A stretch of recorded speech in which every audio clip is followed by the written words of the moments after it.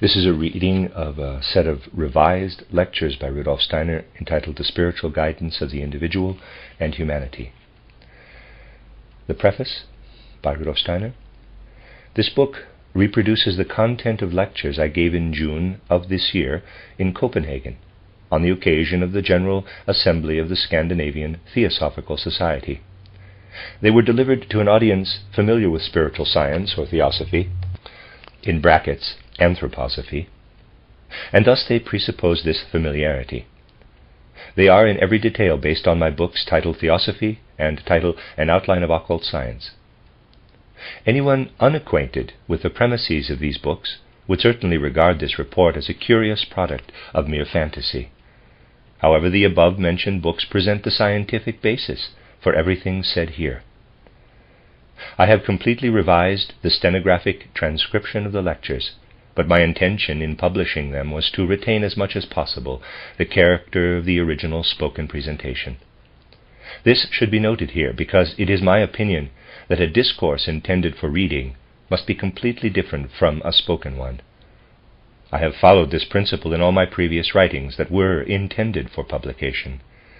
The style and presentation of this book are closer to the spoken word because I have reasons for allowing this account to be published at this time and because a complete revision in accordance with the above principle would take a very long time. Rudolf Steiner, Munich, August 20th, 1911.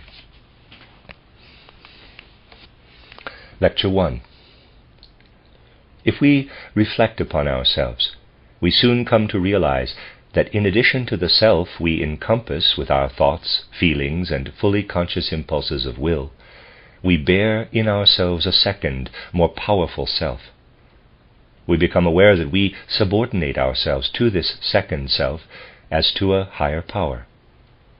At first, this second self seems to us a lower being when compared to the one we encompass with our clear, fully conscious soul and its natural inclination toward the good and the true. And so initially, we may strive to overcome this seemingly lower self. A closer self examination, however, can teach us something else about this second self.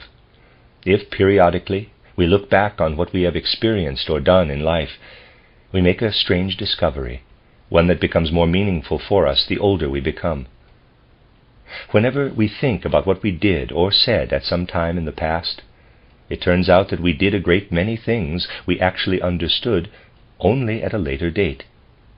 When we think of things we did seven or eight years ago, or perhaps even 20 years ago, we realize that only now, after a long time, is our mind sufficiently developed to understand what we did or said then. Of course, there are people who do not make such self discoveries because they do not try to. Nevertheless, this sort of soul searching is extraordinarily fruitful. For in such moments, as we become aware that we are only now beginning to understand something we did in our earlier years, that in the past our minds were not mature enough to understand what we did or said then, a new feeling emerges in our soul. We feel ourselves as if sheltered by a benevolent power presiding in the depths of our own being. We begin to trust more and more that in the highest sense of the word we are not alone in the world, and that whatever we can understand or do consciously is fundamentally only a small part of what we accomplish in the world. After we have gone through this process of discovery a number of times, an insight that is theoretically easy to understand can become part of our practical lives. We know, in theory at any rate, that we would not get very far in life if we had to do everything in full consciousness, rationally understanding all the circumstances and ramifications in every case. To see that this is so we need only consider how and when we accomplish those acts that are the wisest and most important for our existence. A moment's thought will reveal that we act most wisely in the time between birth and the moment at which memory, that first moment we can remember when in later years we try to recall our early life, begins.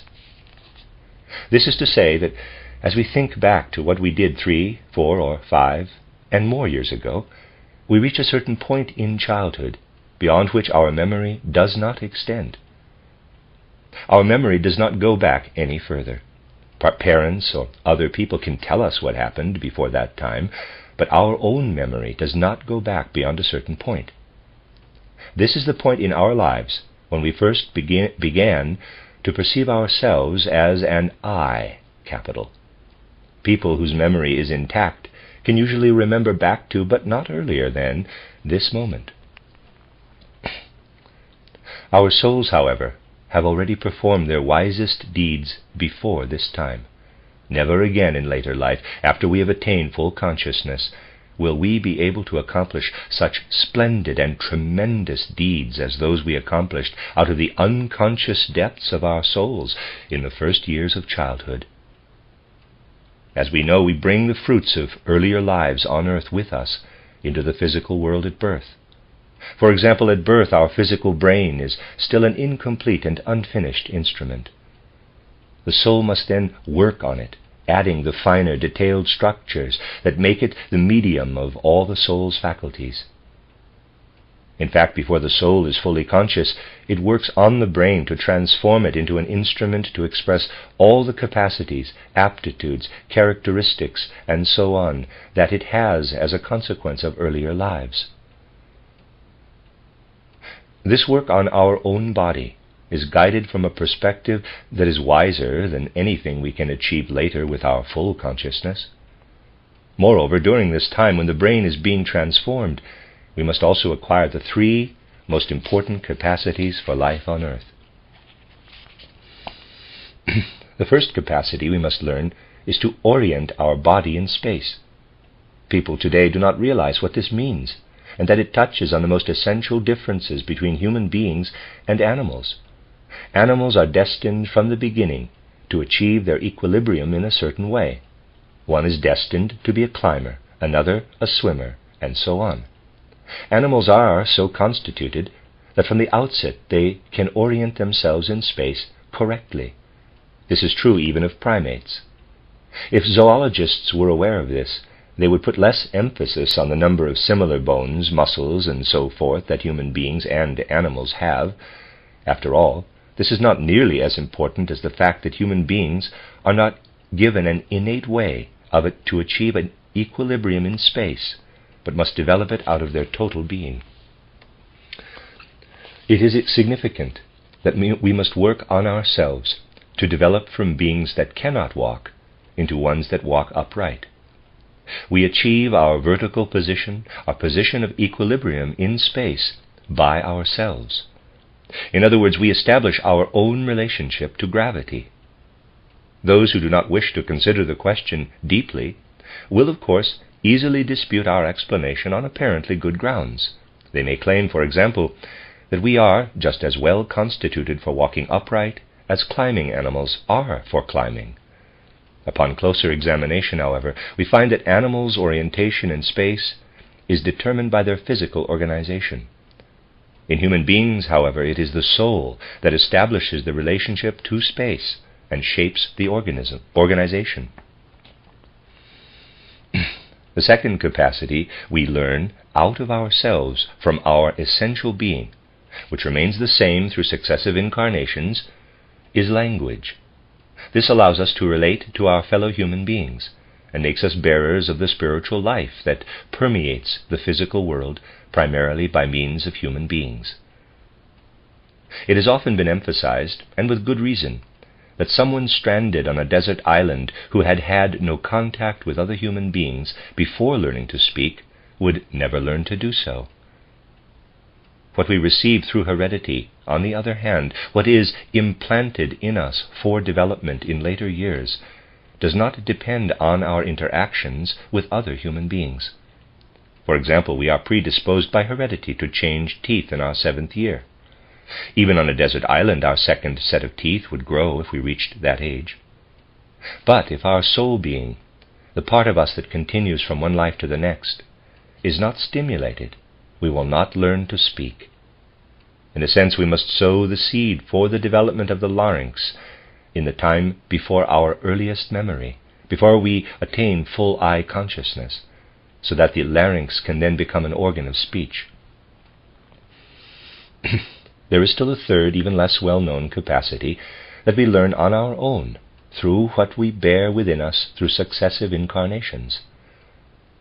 I am referring here to our ability to live within the world of thoughts and ideas, the world of thought itself. Our brain is formed and worked on because it is the tool of thinking. At the beginning of life, the brain is still malleable because we must shape it ourselves to make it an instrument for the thinking appropriate to our essential being. The brain at birth is the result of the work of forces inherited from our parents, grandparents, and so on. It is in our thinking that we bring to expression what we are as individuals in conformity with our former earthly lives. Therefore, after birth, when we have become physically independent of our parents and ancestors, we must transform the brain we have inherited. Clearly, then, we accomplish significant steps in the early years of life. We work on ourselves in accordance with the highest wisdom. In fact, if we had to rely on our own intelligence, we could not achieve what we must accomplish without our intelligence in the first few years of our lives. Why is this so? Why must all these things be accomplished from soul depths that lie outside our consciousness? Because in the first years of our lives, our souls, as well as our whole being, are much more closely connected with the spiritual worlds of the higher hierarchies than is the case later. Clairvoyants who can trace the spiritual processes involved because they have undergone spiritual training discover that something tremendously significant happens at the moment when we achieve I consciousness, that is, at the moment of our earliest memory. They can see that during the early years of childhood, an aura hovers about us like a wonderful human, superhuman power. This aura, which is actually our higher part, extends everywhere into the spiritual world. But at the earliest moment we can remember, this aura penetrates more deeply into our inner being. We can experience ourselves as a coherent I from this point on, because what had previously been connected to the higher worlds then entered the I.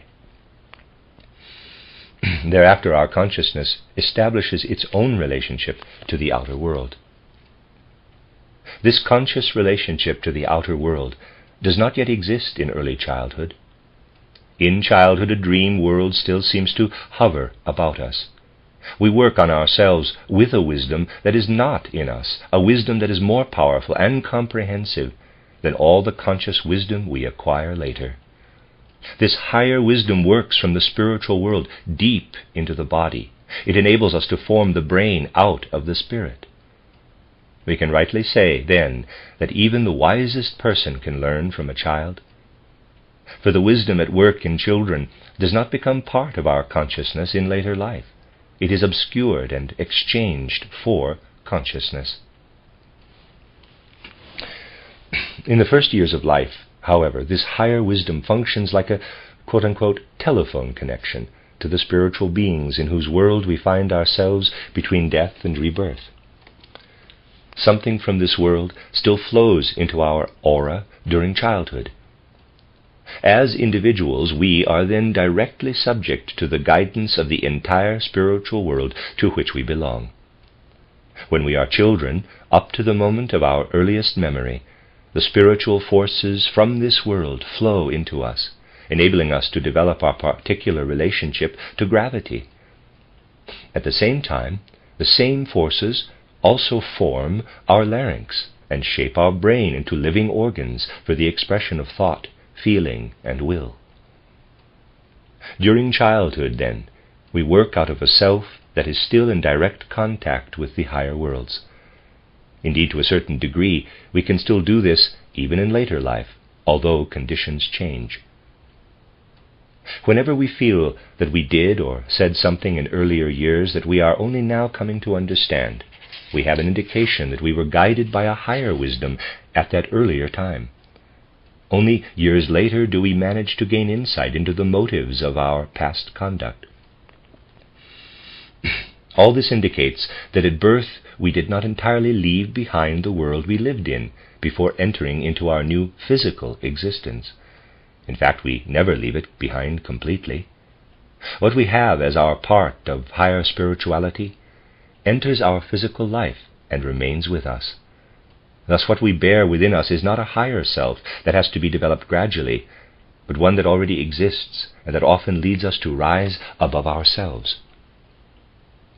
All that we can produce in the way of ideals and artistic creativity, as also the natural healing forces in our body which continuously compensate for the injuries life inflicts, originate not in our ordinary rational minds, but in the deeper forces that work in our early years on our orientation in space, on the formation of the larynx, and on the development of the brain.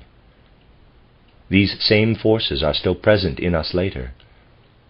People often say of the damages and injuries we sustain in life that external forces will not be of any help and that our organism must develop its own inherent healing powers. what they are talking about is a wise, benevolent influence working upon us. From this same source, also arise the best forces that enable us to perceive the spiritual world, that is, to have true clairvoyance. We can now ask why the higher powers work on us only in the early years of childhood. It is easy to answer one half of this question, for if these higher forces continued to work on us in the same way into later life, we would always remain children and could never achieve full I consciousness. What worked previously from without must be transferred into our own being. But there is a more significant reason, one that can tell us more about the mysteries of human life. Spiritual science teaches that we have to consider the human body at the present stage of the Earth's evolution as having developed from earlier conditions. People familiar with spiritual science know that in the course of this evolution, various forces have worked on our whole being, some on the physical body, others on the etheric body, and others again on the astral body. We have evolved to our present condition because beings we call Luciferic and Ahrimanic have affected us. Through their forces, our essential being became worse than it would have been if only the forces of the spiritual guides of the world, those who want to advance our development in a straight line, had worked on us.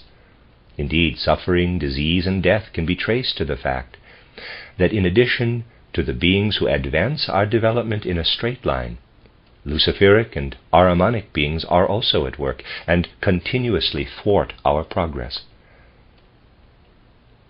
What we bring with us at birth contains something that is better than anything we can make of it in later life. In early childhood, the Luciferic and Ahrimanic forces have only a limited influence on our being. Essentially, they are active only in what we make of ourselves through our conscious life. If we retained the best part of ourselves in its full force beyond the first phase of childhood, its influence would be too much for us because the Luciferic and Ahrimanic forces opposing the part of ourselves that is better than the rest would weaken our whole being. Our constitution as human beings in the physical world is such that once we are no longer soft and malleable as children, we can no longer stand to have the forces of the spiritual world continue to affect us directly. the forces that underlie our orientation in space and the formation of the larynx and the brain would shatter us if they continued to influence us directly in later life. These forces are so powerful that our organism would, wa- would waste away beneath their holiness if they continued to work on us. However, for the activity that brings us into conscious contact with the supersensible world, we have to call upon these forces again this leads us to a realization that is very significant if we understand it rightly. In the New Testament, it is put thus quote, Unless you turn and become like children, you will never enter the kingdom of heaven. Unquote. Matthew 18:3. What then seems to be the highest ideal for a human being if the above statement is correctly understood? Surely that uh, surely that our ideal must be to approach ever closer a conscious relationship with the forces that worked on us without our awareness in the first years of childhood. At the same time, we must realize that we would collapse under the power of these forces if they were immediately and too easily to affect our conscious life. That is why a careful preparation is necessary to achieve the capacities that lead to a perception of supersensible worlds. The goal of this preparation is to enable us to bear what we simply cannot bear in ordinary life. Our passing through successive incarnations is significant for the overall evolution of our essential being, which has undergone successive past lives and will continue to go through future lives. The evolution of the earth runs parallel to our own. At some point in the future, the earth will have reached the end of its course. Then the planet Earth, as a physical entity, will have to separate from the totality of human souls. Just as when we die, the body separates from the spirit and the soul in order to live on, enters the spiritual realm between death and rebirth. From this point of view, our highest ideal must be the striving to make all the fruits to be gained in earthly life truly our own before we die. The forces that make us too weak to bear those forces that work on us in childhood originate in the organism of the earth. By the time this separates from humanity, we must have advanced to the point of giving over our whole being to the forces that presently work on us only in childhood. Only when we have reached this level can we claim to have attained our goal. Thus, through successive earthly lives, we must gradually make our entire being, including our consciousness, an expression of the forces that work on us under the guidance of the spiritual world in early childhood. This is the purpose of evolution. After such considerations, the realization that we are not alone takes hold of our soul. This realization imbues us with humility, but also with a proper consciousness of our human dignity. We realize at the same time that something lives in us that can prove at all times that we can rise above ourselves to a self that is already surpassing us and will continue to do so from one life to the next. As this realization assumes a more and more definite form, it can have a very soothing, heart-warming effect, and at the same time imbue the soul with the appropriate humility and modesty. What lives within us is truly a higher divine human being, and we can feel ourselves pervaded by this being as by a living presence of whom we can say, This is my inner guide in me. Given this, the thought easily arises that we should strive in every way possible to achieve harmony with that part in us that is wiser than our conscious intelligence. Thereafter, our, in, our attention will no longer be directed to the conscious self, but will be focused instead on an expanded self. And from this perspective, we can then combat and eradicate all our false pride and arrogance. From this feeling, we will gradually come to a right understanding of our present incompleteness. We shall come to see that we will, com- we will become complete when the comprehensive spirituality at work in us has the same relationship to our adult consciousness that it had to our unconscious soul life in early childhood. even though even though we may not remember anything from our first four years of life, we can safely say that the active influence of the higher spiritual realms lasts for about the first three years. By the end of this period, we have become able to connect the impressions from the outer world with our I concept. To be sure, this coherent I concept cannot be traced back beyond the first moment we can remember. This is a moment that is difficult to locate. For with the awakening of distinct I consciousness, our memory may be so weak that it cannot be recovered later. Nevertheless, we may say that people generally remember as far back as the beginning of the fourth year.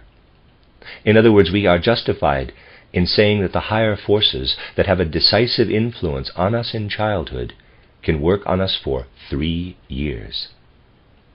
It follows that our constitution in the present middle phase of the Earth's evolution enables us to absorb these higher forces for only three years. Now, if through some special cosmic powers we could somehow remove the ordinary I from a person, if the ordinary I that has accompanied a person through successive incarnations could be separated from that person's physical, etheric, and astral bodies, and we could then replace the ordinary I with an I that is connected with the spiritual worlds, what would happen? After three years, this person's body would fall apart. If such a thing were to happen, world karma would have to do something to prevent the spiritual being connected to the higher worlds from living in this body for more than three years. Footnote The transition from childhood to the following stages. Let me read that again. During the transition from childhood to the following stages, our organism retains its viability because it can still change during this period. In later life, it can no longer change, and therefore cannot survive with the self connected directly to the spiritual worlds. End footnote. Only at the conclusion of our earthly lives will we be able to retain the forces within ourselves that allow us to live with that spiritual being for more than three years. Then we will be able to say, Not I, but this higher self in me, which has been there all along, is now at work in me. Until then, we will not be able to experience this. At most, we will be able to feel the presence of this higher self, but our actual, real human I will not yet be able to bring the higher self fully to life. Let us now assume that a human organism were to enter the world at some moment in the middle of the earth's lifetime, and that, at a certain point, by means of certain cosmic powers, this organism was freed of its I and received in its stead the I that is usually active only in the first three years of childhood, the I that is connected to the spiritual worlds we live in between death and rebirth. How long would such a person be able to live in an earthly body? Such a person would be able to survive in this earthly body for only about three years. After three years, world karma would have to intervene and destroy this human organism. What we have assumed here did actually occur at one time in history. When the human organism, known as Jesus, stood on the banks of the Jordan to be baptized by John, his I left his physical, etheric, and astral bodies. But after the baptism, that organism bore within itself the higher self of humanity in fully conscious form. The self that works on us with cosmic wisdom in childhood, before we are conscious of it, was then fully conscious in Jesus of Nazareth. And by this very fact, this self, which was connected to the higher spiritual world, could live in this human body for only three years. Events then had to follow a course that brought an end to Jesus' physical life three years after the baptism. Indeed, we have to understand the external events in the life of Jesus Christ as resulting from the inner causes discussed above. They are the outer expression of these causes. This reveals the deeper connection between the guide in us which radiates into our childhood as into a dark room and always works under the surface of our consciousness as our best self, and what once entered into human history to live for three years in a human sheath. This higher I, which is connected to the spiritual hierarchies, entered history in the person of Jesus of Nazareth, an event that is symbolized by the Spirit descending in the form of a dove saying, quote, This is my well-beloved Son.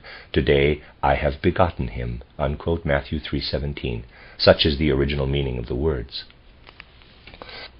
What is revealed here? If we hold this image of the baptism before our eyes, we have before us the highest human ideal. That is what is meant when the Gospels tell us that Christ can be seen and known in every person even if there were no Gospels and no tradition to report that a Christ once lived, our knowledge of the nature of the human being would tell us that Christ is alive in us. To know the forces at work in childhood is to know the Christ in us. The question then arises whether this realization also leads us to acknowledge that Christ at one time really lived on earth in a human body. We can answer yes to this without requiring any documents, because true clairvoyant self knowledge convinces people in our time that there are forces in the human soul that come from Christ. In the first three years of childhood, these forces are active without any effort on our part. They can also work on us in our later life if we seek Christ in ourselves through contemplation. It was not always possible to find the Christ within. Indeed, as clairvoyant perception reveals, prior to Christ's life on earth, there were times when no amount of contemplation would have helped people to find the Christ. Clairvoyant cognition teaches us that this is so. Between the time when Christ could not be found within and the present, when he can be found in this way, lies Christ's life on earth. It is because Christ lived on the earth that we can now find him within in the way I have indicated.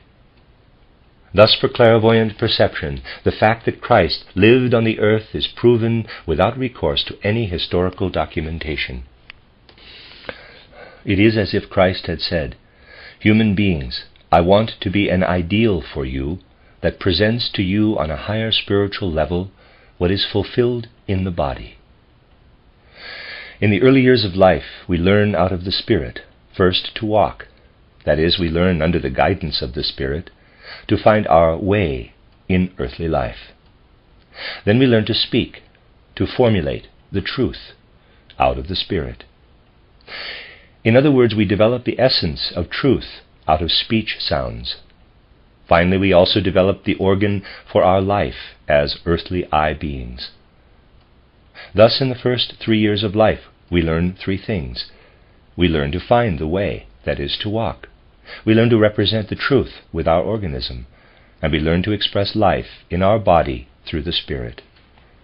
There is no more meaningful paraphrase imaginable of the words, quote, Unless you turn and become like children, you will never enter the kingdom of heaven. Unquote, Matthew 18.3. Most meaningfully, therefore, the I being of Christ is expressed in the words, quote, I am the way, the truth, and the life. Unquote. The higher spiritual forces form our organism in childhood, though we are not conscious of this so that our body becomes the expression of the way, the truth, and the life. Similarly, the human spirit gradually becomes the conscious bearer of the way, the truth, and the life by permeating itself with Christ. Thereby we transform ourselves in the course of our earthly life into the power at work in us in childhood.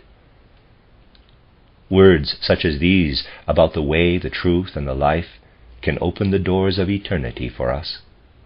Once our self knowledge has become true and substantial, these words will resound for us from the depths of our soul. What I have presented here opens up a twofold perspective on the spiritual guidance of the individual and of humanity as a whole. First, as individuals, we find the Christ, the guide in us through self knowledge. We can always find Christ in, a, in this way, because since his life on earth, he is always present in us. Second, when we apply the knowledge we have gained without the help of historical documents to these documents, we begin to understand their true nature.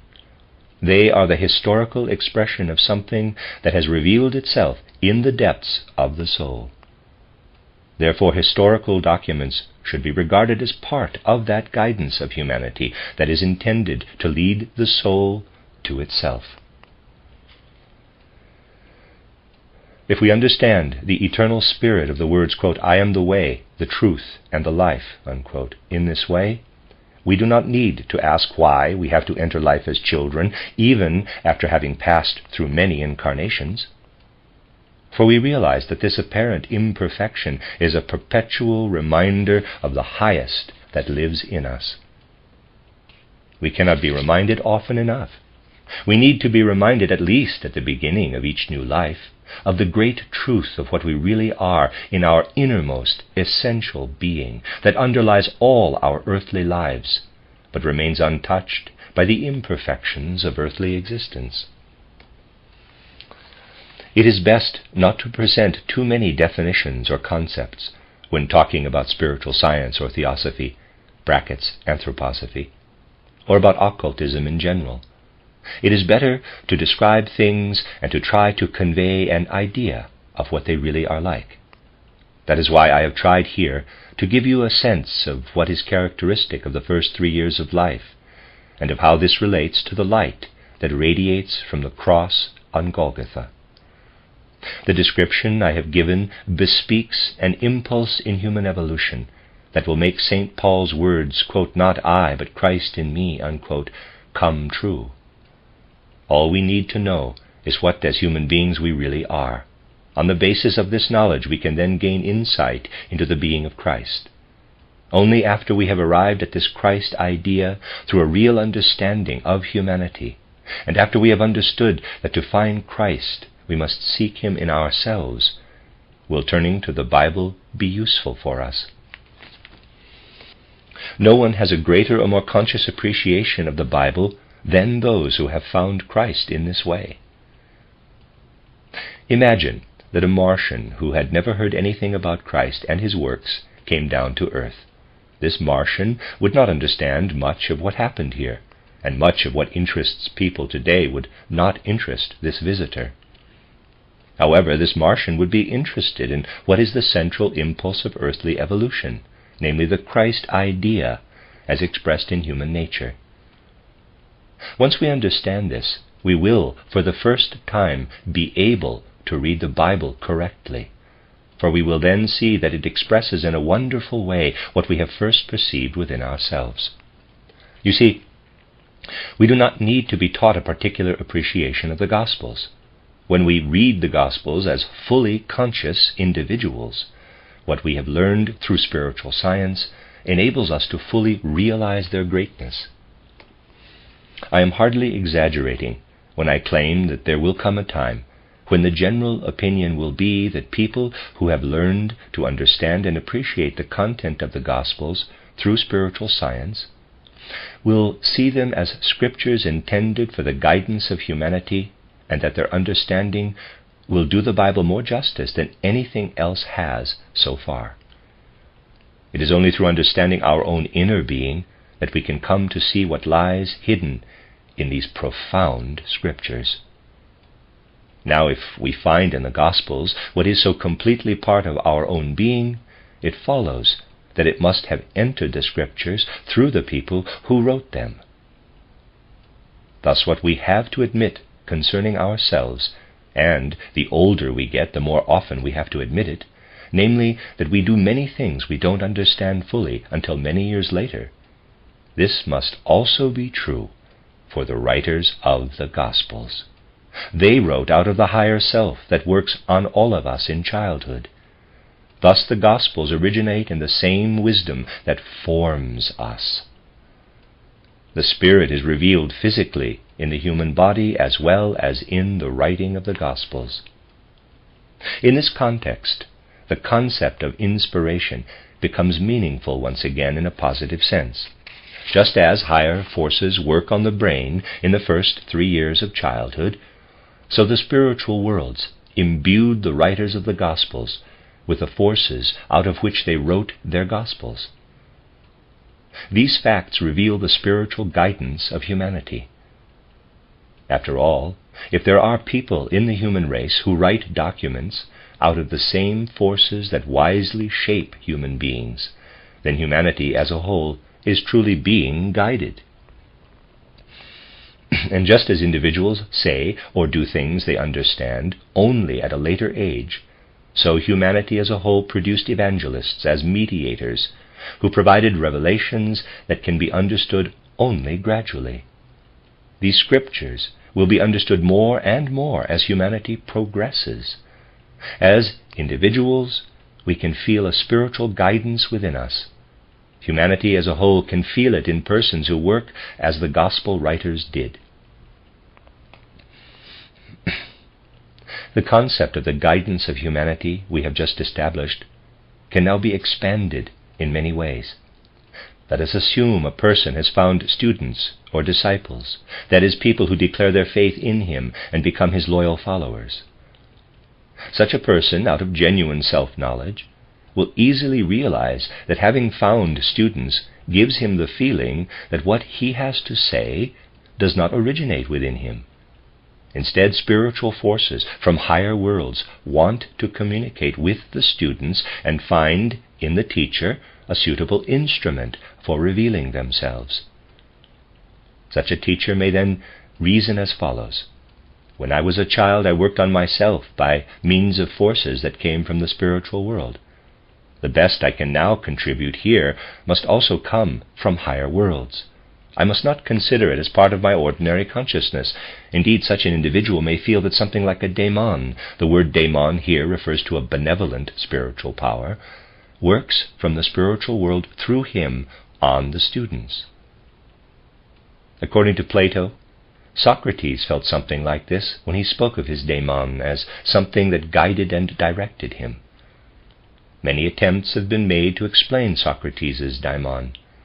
However, to explain it, we must accept the idea that Socrates could feel something akin to what emerges from the above considerations. Based on this, we then realize that during the three or four centuries when the Socratic principle prevailed in Greece, Socrates introduced a mood into the Greek world that served as preparation for another great event. The mood I am referring to accompanied the realization that what we perceive of an individual does not comprise the whole of what enters this world from the higher one. This mood continued to prevail long after Socrates' death. The best people who had this feeling later also best understood the words, quote, not I, but the Christ in me. Unquote. They realized that Socrates had to speak of a daimon like force working out of the higher worlds but through the ideal of Christ, it became clear what Socrates had really meant. Of course, Socrates could not yet speak of Christ, because in his time people could not yet find the Christ being within. Here again we feel something of a spiritual guidance of humanity. Nothing can enter the world without preparation. Why did Paul find his best followers in Greece? Because Socratism had prepared the ground there. That is, more recent events in the development of humanity can be traced back to earlier events that prepared people to allow the later events to work upon them. This gives us an idea of how far the guiding impulse of human evolution reaches. It puts the right people at the right time in the place where they are needed for our development. In facts such as these, the guidance of humanity is evident in a general way. The end of Lecture 1. This is a reading of the lectures by Rudolf Steiner, The Spiritual Guidance of the Individual and Humanity. These were, in fact, revised by Rudolf Steiner. This is Lecture 2. We can find an interesting parallel between what is revealed in the life of the individual and what rules in the development of humanity as a whole if we consider, for example, what the teachers and leaders of ancient Egypt told the Greeks about the guidance and direction of Egyptian spiritual life. The story is told that when an Egyptian was asked who had guided and led his people since ancient times, he answered that in remote antiquity gods had ruled and taught them, and that only later did human beings become their leaders. He added that the first leader they acknowledged on the physical plane as a human like being rather than a god, was called Menes, M-E-N-E-S. In other words, according to Greek accounts, the Egyptian leaders asserted that the gods themselves had guided and directed their people in earlier times. We must always take care to understand in the right way reports that have been handed down to us from ancient times. We need to think carefully about what the ancient Egyptians meant when they said that the gods had been their kings and great teachers. They meant that in ancient times, those people who felt in their souls a kind of higher consciousness, a wisdom from higher worlds, had to put themselves into a clairvoyant state before they could find their true inspirer and teacher. For their true teacher would approach them only when their spiritual eyes were opened. Such a person, when asked, Who is your teacher? would not have pointed to this or that individual, but would have entered a clairvoyant state, and we know from spiritual science that it was easier to achieve a clairvoyant state in ancient times than it is today. In that clairvoyant state, a person would have met his teacher, for in those days beings came down from the spiritual worlds who did not become incarnate in human bodies. Thus, in the remote past of ancient Egypt, the gods still ruled and taught, using human beings as their channels. At that time, however, the term gods referred to beings who had preceded human beings in their development. Spiritual science teaches us that before becoming the earth as we know it today, the earth passed through an earlier planetary state or condition called the moon state. During this moon state, human beings were not yet human in our sense of the word. Nevertheless, there were other beings on the old moon who had evolved to the same level as humans have now reached on the earth, though they looked very different from us. In other words, on the old moon, which perished and later developed into our earth, there were beings we can consider as our forerunners. In Christian esotericism, these beings are called angeloi, angels, while those beings above them who reached the human stage of their development even earlier than the angels are called archangeloi, or archangels. The angeloi, known as Dhyanic beings or dhyani in Oriental mysticism, reach the human level of their development during the moon stage. Consequently, if they completed their evolution on the old moon, they are now one level above us. At the end of earthly evolution, we will arrive at the level they reached at the end of the moon stage. When the earth state of our planet began, and human beings appeared on it, the angels could not manifest in outer human form, because the human flesh body is essentially an earthly product, appropriate only for beings now at the human stage of development. Since the angels are a level above the human, they could not incarnate in human bodies. They could participate in the government of the earth only by enlightening and inspiring human beings who had achieved a state of clairvoyance.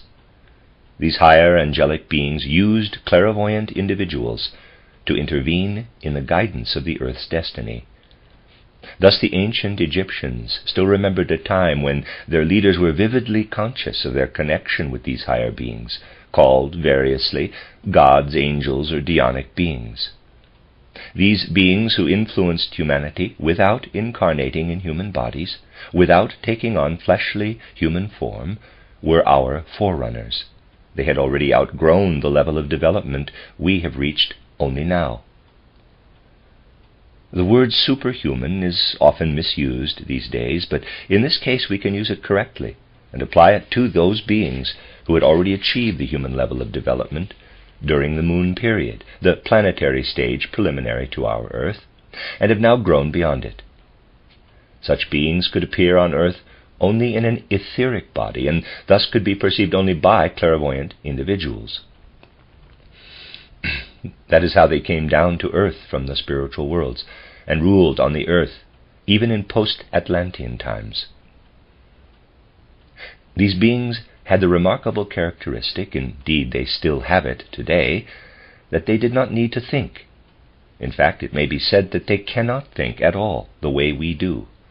After all, how do we think? Well, usually we start from a particular point, and once we have understood it, we try to comprehend other things on the basis of this understanding.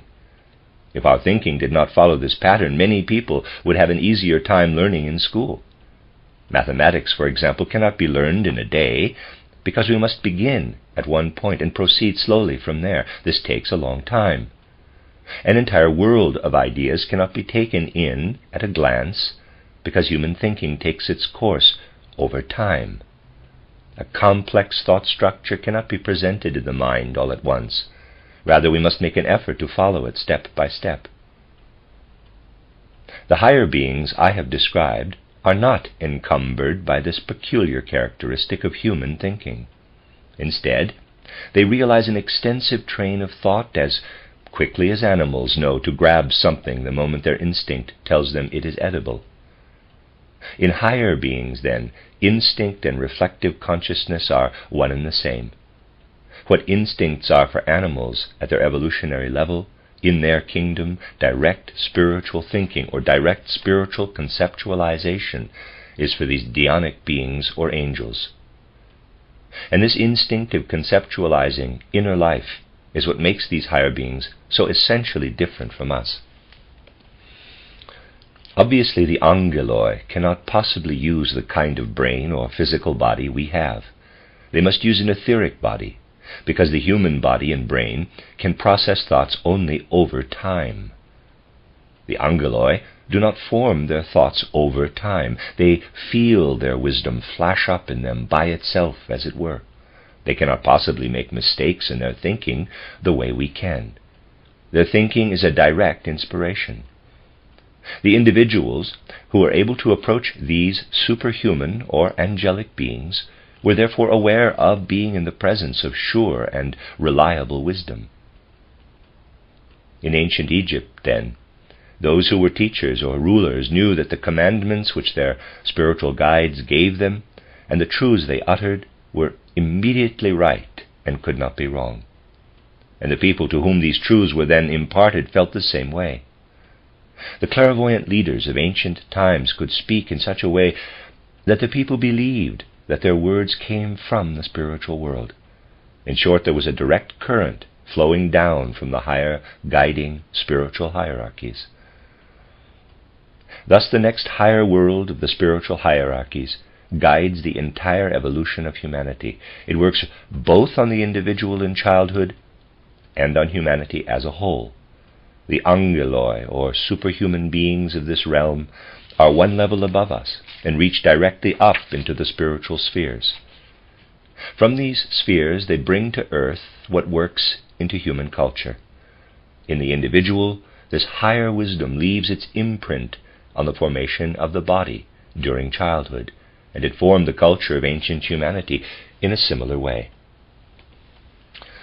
This is how the Egyptians, who reported that they were in contact with the divine realm, experienced the openness of the human soul to the spiritual hierarchies. Just as the child's soul opens its aura to the hierarchies until the moment indicated in the previous lecture, so, through its work, humanity as a whole opened its world to the hierarchies with which it was connected. This connection to the higher hierarchies was particularly significant in the case of the holy teachers of India. These were the great teachers of the first post Atlantean epoch, of the first Indian culture that spread in the south of Asia. After the end of the Atlantean catastrophe, then, when the physiognomy of the earth had changed and Asia, Europe, and Africa had developed in the eastern hemisphere in their new form, but before the time documented in ancient records, the culture of the ancient teachers of India flourished. People today generally have a completely false picture of these great Indian teachers. If, for example, an educated person of our time were to meet one of the great teachers of India, he or she would look puzzled and probably say, This is supposed to be a wise man? That is not how I imagined a wise man. According to our current definition of the terms clever and intelligent, the ancient holy teachers of India would not have been able to say anything intelligent. By today's standards, these teachers were simple and very plain people who would have given the simplest answers to questions, even to questions pertaining to everyday life. Often it was scarcely possible to elicit anything from them other than some sparse utterance that would seem quite insignificant to the educated classes of our day. However, at certain times, these holy teachers proved to be more than merely simple people. At these times, they had to gather in groups of seven, because what each could sense individually had to harmonize as if in a seven tone harmony with what the other six experienced. Each wise man was able to perceive this or that, depending on his particular faculties and development. and out of the harmony of the individual perceptions of these seven individuals, there emerged the primeval wisdom that resounds through ancient times. Its reverberation can be heard even today if we decipher the occult records correctly. The records I am referring to are not the revelations of the Vedas, though the Vedas are certainly marvelous in their own right. The teachings of these holy men of ancient India precede the writing of the Vedas by a long time. The Vedas, whose those tremendous works are only a faint echo of those earlier teachings. when these wise teachers faced one of the angeloi, or superhuman forerunners of humanity, and looked clairvoyantly into the higher worlds, listening all the while clairaudiently to this being, their eyes shone like the sun. And what they were able to impart then had an awe inspiring effect on the people around them. All who heard them knew that they were not speaking out of human wisdom or human experience, but that gods, superhuman beings, were intervening in human culture. The ancient cultures originated from this influx of divine wisdom. The gate to the divine spiritual world was completely open for the human soul during Atlantean times. In the course of the post Atlantean periods, however, gradually the gate closed. Little by little, people in many countries felt that human beings had to rely more and more on themselves. Here we can see again that the development of humanity as a whole parallels that of the child. At first, the divine spiritual world still extends into the child's unconscious soul, which is active in the formation of the body. Then comes the moment when each person begins to perceive himself or herself as an I, capital, the first moment one can remember. Before this lies a time we cannot, in any ordinary way, usually recall. This is why it is said that even the wisest among us can still learn something from the soul of the child as it is in the time before memory develops. Thereafter, the individual is left to his or her own devices. I consciousness appears, and we become able to remember our experiences. in the same way, there came a time when nations began to feel themselves cut off from the divine inspiration of their forefathers. For just as we are separated more and more from the aura guiding us during our early childhood years, so in the life of nations the divine forebears gradually and increasingly withdrew. As a result, human beings were left to their own research and their own knowledge. In historical records that describe this development, we can feel the intervention of the guides of humanity. The ancient Egyptians called the first founder of culture, who was human rather than divine, Menes, and they dated the human possibility of error from the same moment, because from then on human beings had to rely on the instrument of the brain. The ancient Orientals likewise gave the name Manas to the human being as thinker, and called the first bearer of human thinking Manu, the Greeks called the first developer of the principle of human thought Minos, with whom the legend of the labyrinth is associated. The fact that human beings can fall into error is symbolized by the labyrinth. Labyrinths were first built at the time when the gods withdrew from human beings. They are, of course, images of the convolutions of the brain in which the thinker can get lost. At the time of Minos, people sensed that they had gradually moved away from being guided directly by the gods and were developing a new form of guidance in which the I experienced the influence of the higher spiritual world. To summarize, besides the forerunners of the human race, who completed their human stage on the moon and have now become angels, there are other beings who did not complete their development at that time while the angeloi or dhyanic beings advanced one level above ours, at the moment when human evolution began on earth, these other beings, like the higher categories of luciferic beings, did not complete their human evolution on the old moon, and thus remain somehow incomplete. Thus, when the earthly condition of our planet began, these early human beings were not alone. They received inspiration from divine spiritual beings. Without their inspiration, like children without guidance, these early human beings would have been unable to progress. Therefore, the beings who had completed their evolution on the old moon were indirectly present on the earth with them. Between these angelic beings and early childlike humankind, however, there lived beings who had not completed their evolution on the old moon. These beings, of course, were on a higher level than we are, because they could have become angels during the old moon period. But they had not reached full maturity then, and thus remained below the angels, although they are still far superior to us in terms of typically human attributes. Indeed, these beings who stand between us and the angels occupy the lowest level among the multitudes of Luciferic spirits. The realm of the Luciferic beings begins with them. It is extraordinarily easy to misunderstand these beings. We could ask why the divine spirits, the rulers of the good, permitted such beings to remain behind, thus allowing the Luciferic principle to enter humanity. While we may object that the good gods will certainly turn everything to the good, this question nevertheless suggests itself. Another misunderstanding arises if we consider these beings as simply evil. To think that these beings are evil, however, is to misunderstand them because, although they are the source of evil in human evolution, they are not evil at all. Rather, they just stand midway between us and the superhuman beings. In a certain way, indeed, these beings are more perfect than we are.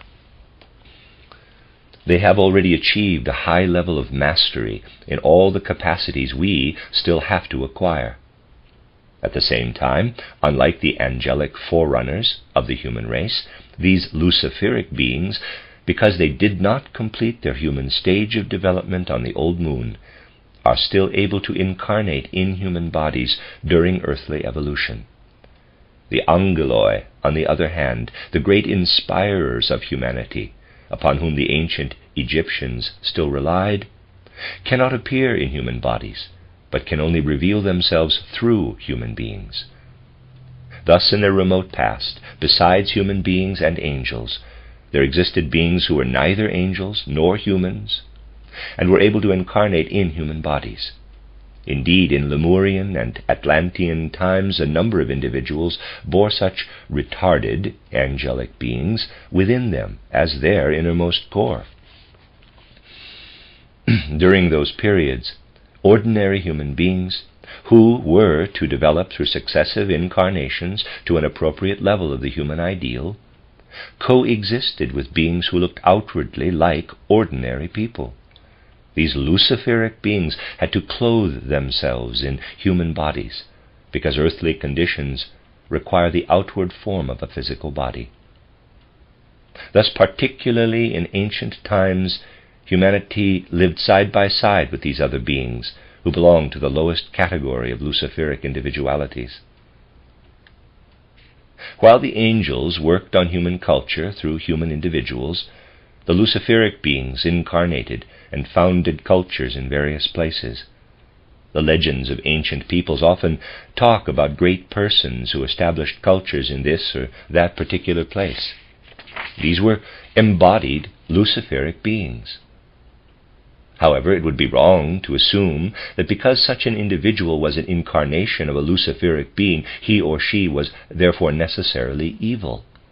In fact, human culture has received countless blessings from these beings. According to spiritual science, in ancient times, specifically in the Atlantean period, there existed a kind of human primal or root language that was the same over all the earth, because speech in those times came much more out of the innermost core of the soul than it does today. The following will make this clear.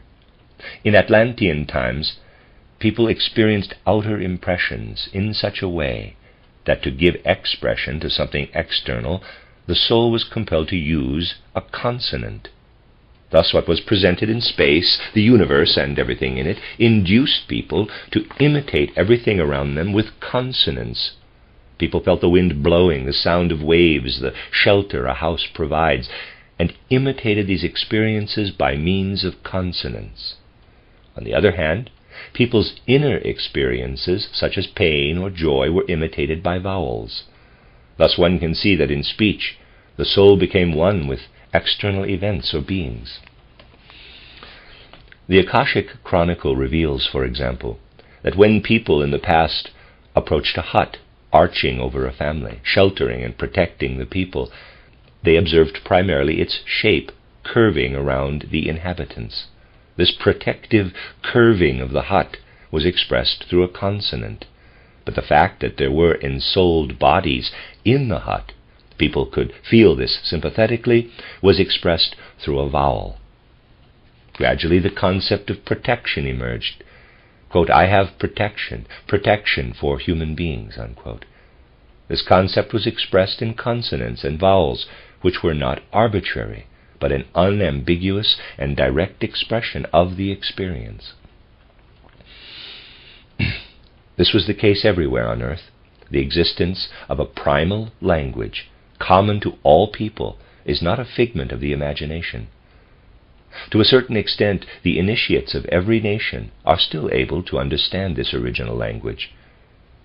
Every language contains certain sounds reminiscent of it. In fact, our modern languages are the relics of the primeval, universal human language.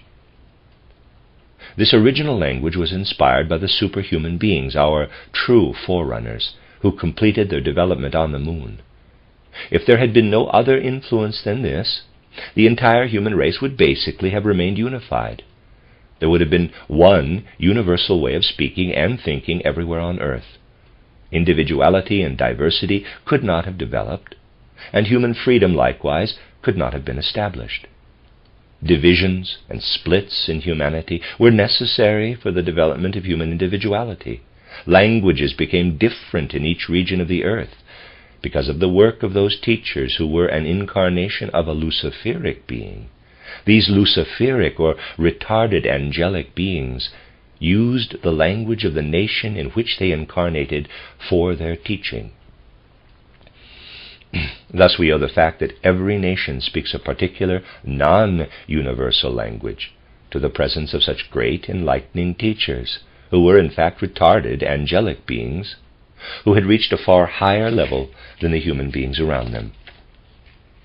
Beings like the early heroes, celebrated by the ancient Greeks who worked in human form, for example, as well as beings who worked in human form in other nations, were such incarnations of angelic beings who had not completed their development. Clearly, then, these beings cannot be dismissed as completely evil. On the contrary, they have provided what has destined the human race to be free by introducing diversity into what would otherwise have remained universally uniform over the whole earth. this is true for many other aspects of life as well as for languages. Individualization, differentiation, and freedom were due to the beings who remained behind on the moon. To be sure, it may be said that the wise leadership of the world intended to guide all beings to their goal in the planetary evolution. However, if this had been done directly, certain other things would not have been achieved. Certain beings are held back in their development because they have a special task in the evolution of humanity. The beings who had completely fulfilled their task on the moon would have created only a uniform humanity and therefore they had to be opposed by the Luciferic beings. And this in turn gave these Luciferic beings the possibility of changing something that was actually a defect into something good. On this basis, we can consider the question of why evil, imperfection, and disease exist in the world from a wider perspective. We can look at evil in exactly the same way we have just looked at the imperfect, retarded angelic beings. Everything that is at one time imperfect or retarded in its development is changed into something good in the course of evolution. This is, of course, no justification of our evil deeds. This also tells us why the wise government of the world holds back the development of certain beings and prevents them from reaching their goal. The reason is that the holding back will serve a good purpose in subsequent evolutionary periods. In ancient times, when the nations were not yet able to direct themselves, teachers guided particular eras and particular individuals. In a sense, all the teachers of the nations, Cadmos, Cecrops, Pelops, Theseus, and so on, bore an angelic being in the innermost depths of their soul. This is a clear indication that humanity is in fact subject to guidance and direction in this respect as well. Thus, at each stage of evolution, there are beings who fail to reach the goal they should have attained. In ancient Egyptian civilization, which flourished several thousand years ago on the banks of the Nile, superhuman teachers revealed themselves to the people and were considered by them to be divine guides. At the same time, however, other beings were active who had not yet completely reached the level of angels. The ancient Egyptians had attained a certain level of development. That is, the souls of people today had developed to a certain level during the Egyptian period. Thus, the guidance I am talking about here has a twofold benefit. It helps the people, excuse me, it helps the person who is guided to achieve something, and it also helps the guiding beings to advance in their development. For example, an angel is more after having guided people for a while than it was before taking this guiding role. in other words, angels advance through their guiding work. Full, in quotes, angels, as well as those who have not yet completed their development. All beings can advance at all times. Everything is in continuous development. Nevertheless, at each stage, some beings remain behind and fail to complete their development. Ancient Egyptian culture, therefore, was influenced by three categories of beings divine leaders or angels, semi divine leaders who had not yet fully reached the level of angels, and human beings. Now, while the human beings on earth progressed in their evolution during the ancient Egyptian period, some superhuman beings or angels were held back. That is, they did not fulfill their guiding role in a way that would have allowed them to bring all of their powers to expression. Consequently, these beings remained behind as angels and did not develop further. Similarly, the imperfect, retarded angelic beings who had not yet developed to the level of the full angels were also arrested in their development. Thus, when the Egypto Chaldean cultural period drew to a close and the Greco Latin period began, guiding beings from the earlier cultural epoch, who had not finished their development, were still present. However, they could now no longer use their powers because their place in guiding humanity had been taken over by other angels or semi angelic beings. As a result, these beings who were left over, so to speak, were unable to continue their own evolution. Thus, we have a category of beings who could have used their powers during the Egyptian period, but did not do so to the full extent possible, and so were unable, in the subsequent Greco Latin period, to use their own forces, because other guiding beings had taken their place. In addition, the nature and character of the Greco Latin epoch also made their intervention impossible. Earlier we saw that the beings who had not evolved to the level of angels on the old moon later had the task of actively participating in the earthly evolution of humanity. By the same token, those guiding beings who did not complete their development in the Egypto Chaldean period are similarly meant to intervene in human development in a later epoch. This is to say that in a given later cultural epoch, the normal progress of human evolution is to be directed by beings whose turn it is to take on a guiding role. But at the same time, other beings will be active who did not fully, excuse me, who did not develop fully in earlier times. For instance, those who failed to complete the development in the ancient Egyptian epoch. This characterization applies to our own period as well. That is, we live in a time when, besides the normal leaders of humanity, the incompletely developed beings from the ancient Egypto Chaldean cultural period actively intervene. To understand the unfolding of events and beings, we must see events in the physical world as effects, revelations of causes or archetypes that lie in the spiritual world. Our culture, by and large, is characterized by a trend toward spirituality. The urgent striving for spirituality we see in many people is the result of the work of those spiritual guides who have attained the development level appropriate to them. These normally developed spiritual guides of our evolution are at work in everything that can lead us to the great treasures of spiritual wisdom that theosophy, anthroposophy can impart to us. However, the beings who did not develop properly during the Egypto Chaldean period are also shaping the cultural trends of our time. They are at work in much that is thought and done in the present and the near future. In particular, these beings are active in everything that gives our culture a materialistic cast, but often their influence can be felt even in the trend toward the spiritual. Indeed, we are experiencing what amounts to a resurrection of Egyptian culture in our time. The beings invisibly guiding events in the physical world thus belong to one of two classes. The first comprises those spiritual individualities who developed properly and normally up to our time. These were able to help in the guidance of our culture at the time when the leaders of the Greco Latin period, preceding our own, gradually completed their mission of guiding humanity through the first Christian millennium.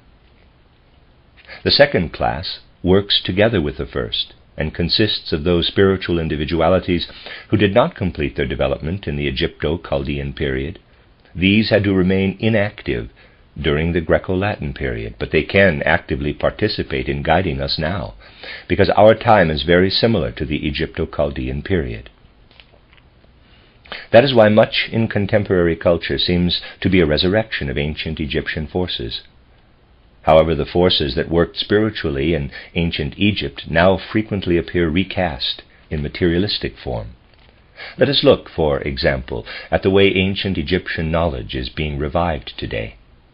In this connection, we may think of Kepler, who was imbued with a sense of the harmony of the structure of the cosmos, and expressed this harmony in the important mathematical laws of celestial mechanics called Kepler's laws. These laws may appear to us now rather dry and abstract, but they grew directly out of Kepler's perception of the harmony of the universe. Kepler himself wrote that to be able to make his discoveries, he had to penetrate the holy mysteries of the Egyptians and steal the holy vessels from their temples. What he thus brought the world will not be understood in its full significance for humanity until much later.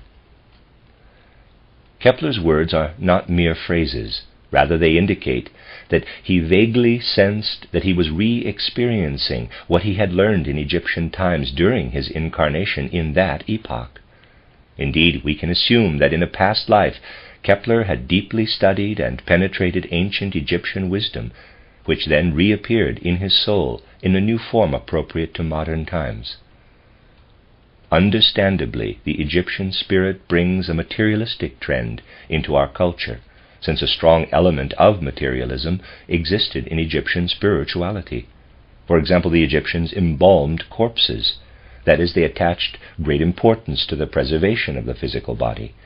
Our funerary customs, though with appropriate modifications, derive from this Egyptian tradition. the same forces that failed to develop properly at that time are now again actively participating in human evolution, though, of course, in a different way. The modern worship of mere matter grew out of the outlook that made the embalming of bodies important. The Egyptians embalmed the bodies of their dead and thus preserved something they considered very important.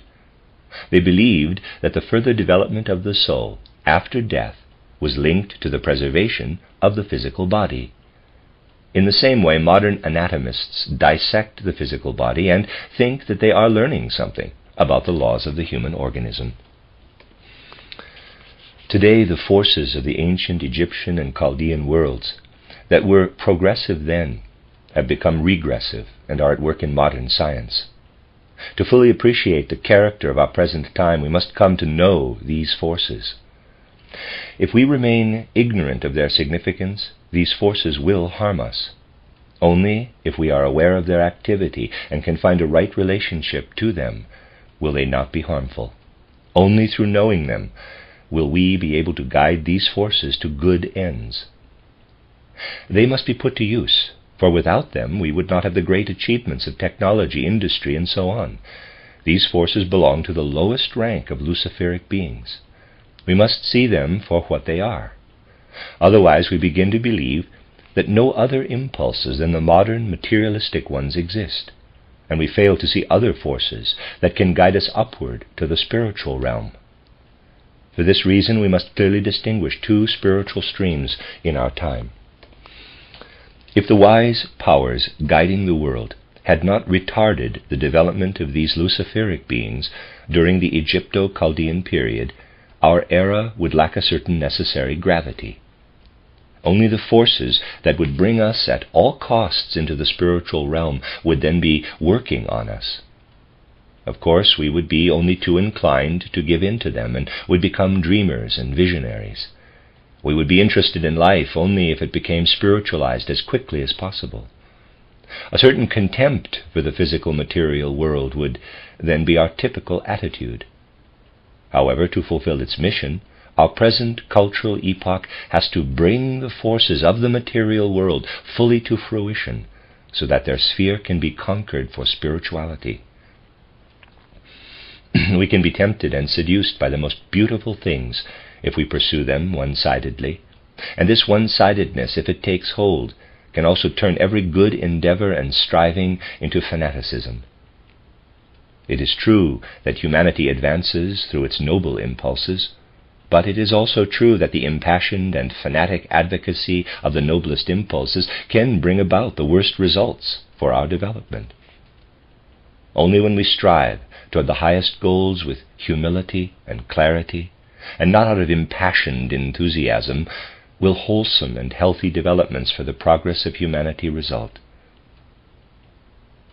Therefore, the wisdom at work in guiding the world arrested the development of those forces that should have fully evolved during the Egyptian cultural epoch.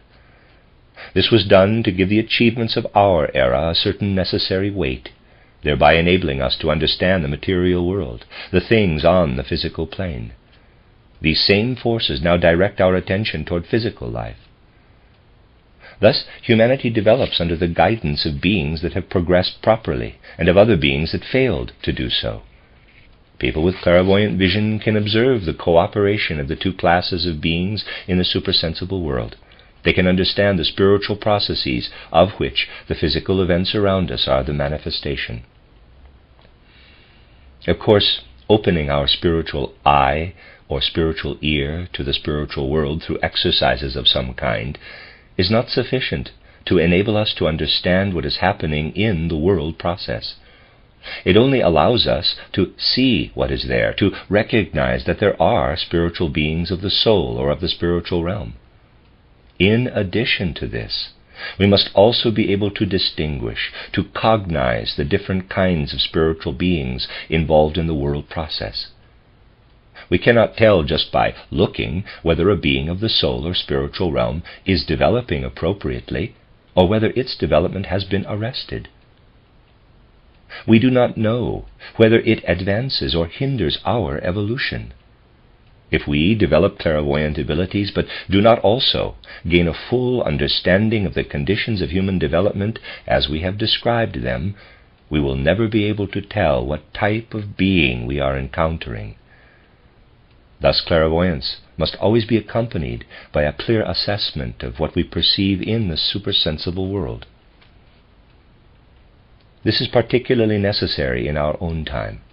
It was not always so. In very ancient cultures, things were quite different. In ancient Egypt, for example, clairvoyants could identify to what group a being of the supersensible world belonged, because that information was as if written on its forehead. Therefore, clairvoyance could not mistake one being for another. Nowadays, however, the danger of misunderstanding and mistaking one being for another is very great. In ancient times, people were still close to the realm of the spiritual hierarchies and could recognize the beings they encountered. Now, however, errors are easily possible, and the only way to protect ourselves against serious harm is to make an effort to grasp concepts and ideas such as those presented here. In esotericism, a person who is able to see into the spiritual world is called a clairvoyant.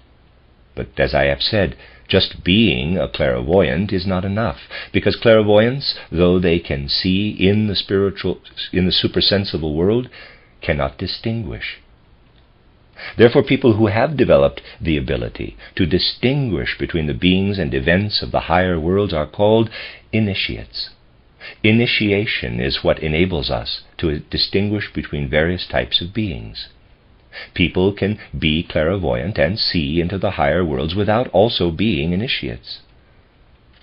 In ancient times, being able to distinguish between these beings was not especially important for once the ancient mystery schools had brought their students to the point of clairvoyance, there was no great danger of making mistakes.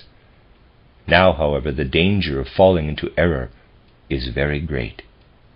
Therefore, in all esoteric schooling, the development of clairvoyance must always be accompanied by initiation. As people become clairvoyant, they must also become able to distinguish between the particular types of supersensible beings and occurrences they perceive. In modern times, the powers guiding humanity are faced with the special task of creating a balance between the principles of clairvoyance and initiation. At the beginning of the modern period, the leading spiritual teachers necessarily had to consider what I have just explained. As a matter of principle, therefore, the esoteric spiritual movement that is suited to our time works to establish the right relationship between clairvoyance and initiation. This balanced relationship became necessary when, in the 13th century, humanity underwent a crisis in regard to its faculty of higher cognition. Around the year 1250, in fact, we find the period in which people felt most cut off from the spiritual world.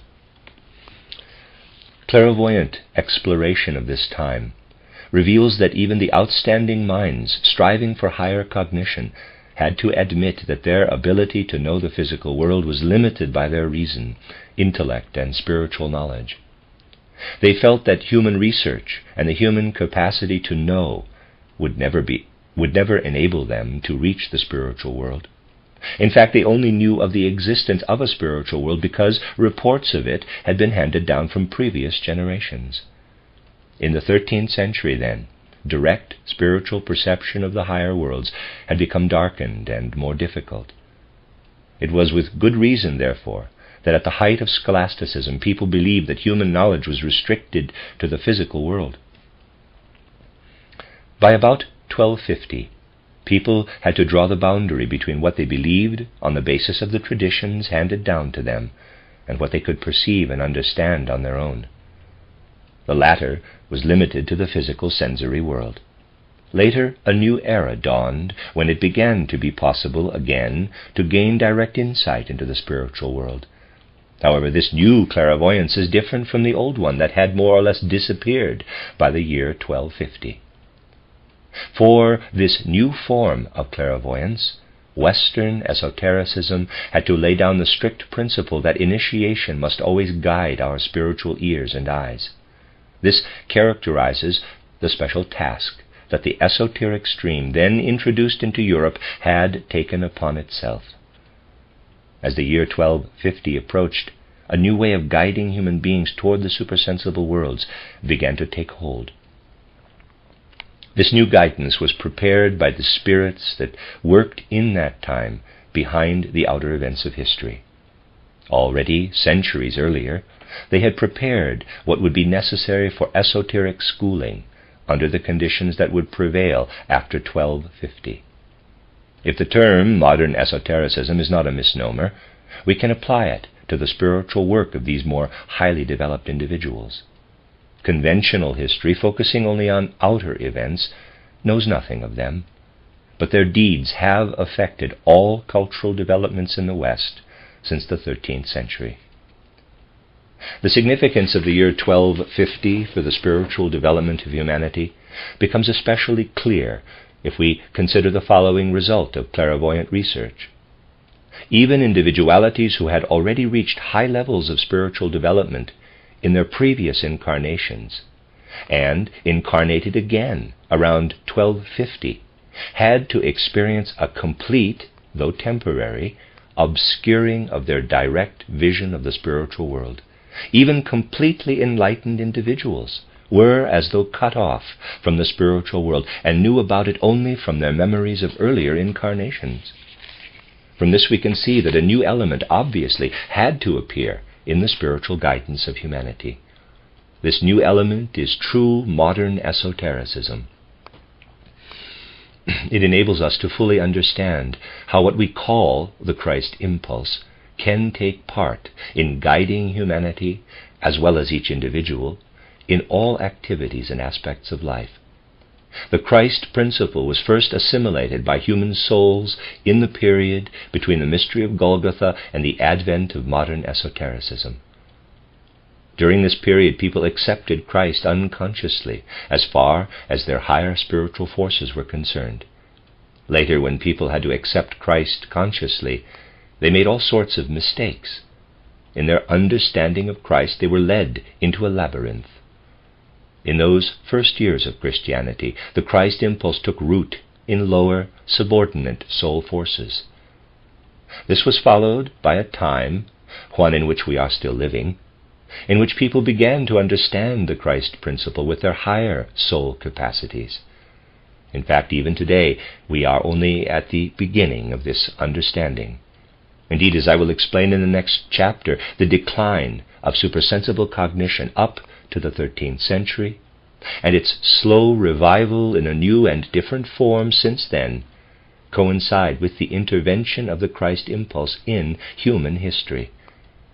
Modern esotericism, therefore, may be understood as the elevation of the Christ impulse into the leading element in the guidance of those souls who want to work on gaining a knowledge of the higher worlds that is appropriate to current developmental conditions. The end of Lecture 2. This is the reading of the book, The Spiritual Guidance of the Individual and Humanity by Rudolf Steiner. Originally, it was a set of three lectures that has been uh, rewritten by Rudolf Steiner, revised, rarely done. This is Lecture 3, and there is also an appendix. As I explained in my preceding remarks, it is the beings who completed their human stage of development during the previous incarnation of the earth, the old moon period, who guide human spiritual evolution. Their guidance, however, is obstructed and opposed by beings who did not complete their development during the moon period. Nevertheless, while these imperfect beings obstruct the guiding activity of those who completed their development, they also paradoxically further it. The resistance they offer to our progress strengthens, solidifies, and lends increased weight and significance to the forces that are called forth by the beings who advance our development. In Christian esotericism, these classes of superhuman beings who have attained the developmental level immediately above our own both those who advance our development and those who help us by introducing obstacles are called angels or angeloi. Above them are the beings of the higher hierarchies, the archangels, archai, and so on, who also take part in guiding humanity. in each of these hierarchies, we find beings of varying degrees of perfection. At the beginning of the present Earth's evolution, for instance, we find angeloi of higher and lower standing. Those of higher standing barely attained the minimum level of development when the moon stage of evolution ended and the earth stage began, while those of higher standing had passed far beyond it. Between these two types are to be found angeloi of every possible level of development, whose participation in the guidance of human evolution on earth is in accordance with the level they have attained. Thus, the beings who had the guiding role in Egyptian cultural development were those who had reached a higher stage of perfection on the moon than those who guided humanity during the Greco Latin age, and these, in turn, were more perfect than the beings who guide us now. those who were to guide humanity later trained themselves for this task during the Egyptian and the Greek periods. By this means, they were prepared to guide a culture that had progressed further. In the time period following the Atlantean catastrophe, seven successive cultural epochs may be distinguished. First, the ancient Indian, second, the ancient Persian, third, the Egypto Chaldean, and fourth, the Greco Latin. Footnote Ancient Persian here does not refer to what is called Persian in ordinary history, but rather to an ancient Asian prehistoric Iranian culture that developed in the region where the Persian Empire flourished later. End of footnote. Our own period, which began around the 12th century, constitutes the fifth cultural epoch. And although we are still in the middle of it, the first preparations for the sixth epoch are already underway. in other words, these individual periods of evolution overlap and transitions are very gradual. A seventh post Atlantean epoch will follow the sixth. Looking more closely at the guidance of humanity, we realize that it was only in the third cultural epoch, the Egypto Chaldean, that the angels or lower Dhyanic beings became, to some extent, independent guides of human evolution. This was not the case in the ancient Persian period. The angels then did not yet possess this independence and were subordinate to a higher guidance to a greater degree than they were during the Egyptian period. In ancient Persian times, angels still worked according to the impulses of the hierarchy above them. Thus, although everything was already subject to the angels' guidance, they themselves submitted to the direction of the archangels, archangeloi. In the age of ancient India, on the other hand, during which post Atlantean life reached unequaled spiritual heights, natural heights, under the guidance of great human teachers, the archangels themselves were still subject to a higher guidance, namely that of the archai, or primal beginnings. Thus we may say that from the Indian period on, through the ancient Persian and Egypto Chaldean cultures, certain beings of the higher hierarchies increasingly withdrew from the direct guidance of humanity. Consequently, by the time of the fourth Greco Latin post Atlantean cultural period, human beings had become, in certain respects, entirely independent. To be sure, the superhuman beings described above still guided human evolution, but they held the reins as loosely as possible. As a result, the spiritual beings guiding humanity benefited as much from our actions as we did ourselves. This explains the entirely human character of the Greco Roman period. Human beings were left completely to their own resources. The characteristics of art and political life in the Greek and Roman epochs grew out of this necessity of human beings to live out their individuality in their own way. When we consider very early periods of cultural history, we find humanity guided by beings who had reached their human level of development in earlier planetary stages. The fourth Greco Latin epoch was intended to test human beings to the greatest extent possible for this reason, the entire spiritual leadership of humanity had to be arranged in a new way. In our epoch, the fifth post Atlantean one, the beings guiding us belong to the same hierarchy that ruled the ancient Egyptians and Chaldeans.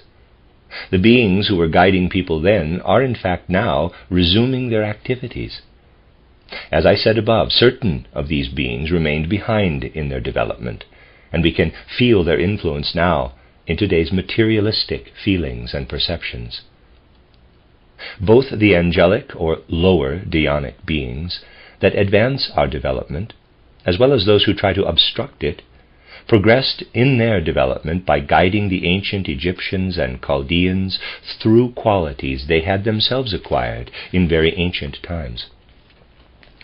At the same time, through their work of guidance, they advanced their own development.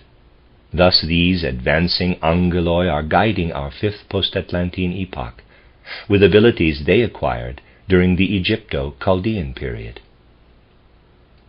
As a result of this progress, they can now develop very special capabilities. Namely, they have qualified themselves to be filled with forces that flow from the most important being of the whole of earthly evolution. The power of Christ works on them. This power works not only in the physical world through Jesus of Nazareth, but also in the spiritual worlds on superhuman beings. Christ exists not only for the earth, but also for these higher beings. The beings who guided ancient Egypto Chaldean culture were not then guided by Christ. They submitted to Christ's guidance only later. This submission was the step in their development that enabled them to guide the fifth post Atlantean period under Christ's influence. Now they are followers of Christ in the higher worlds.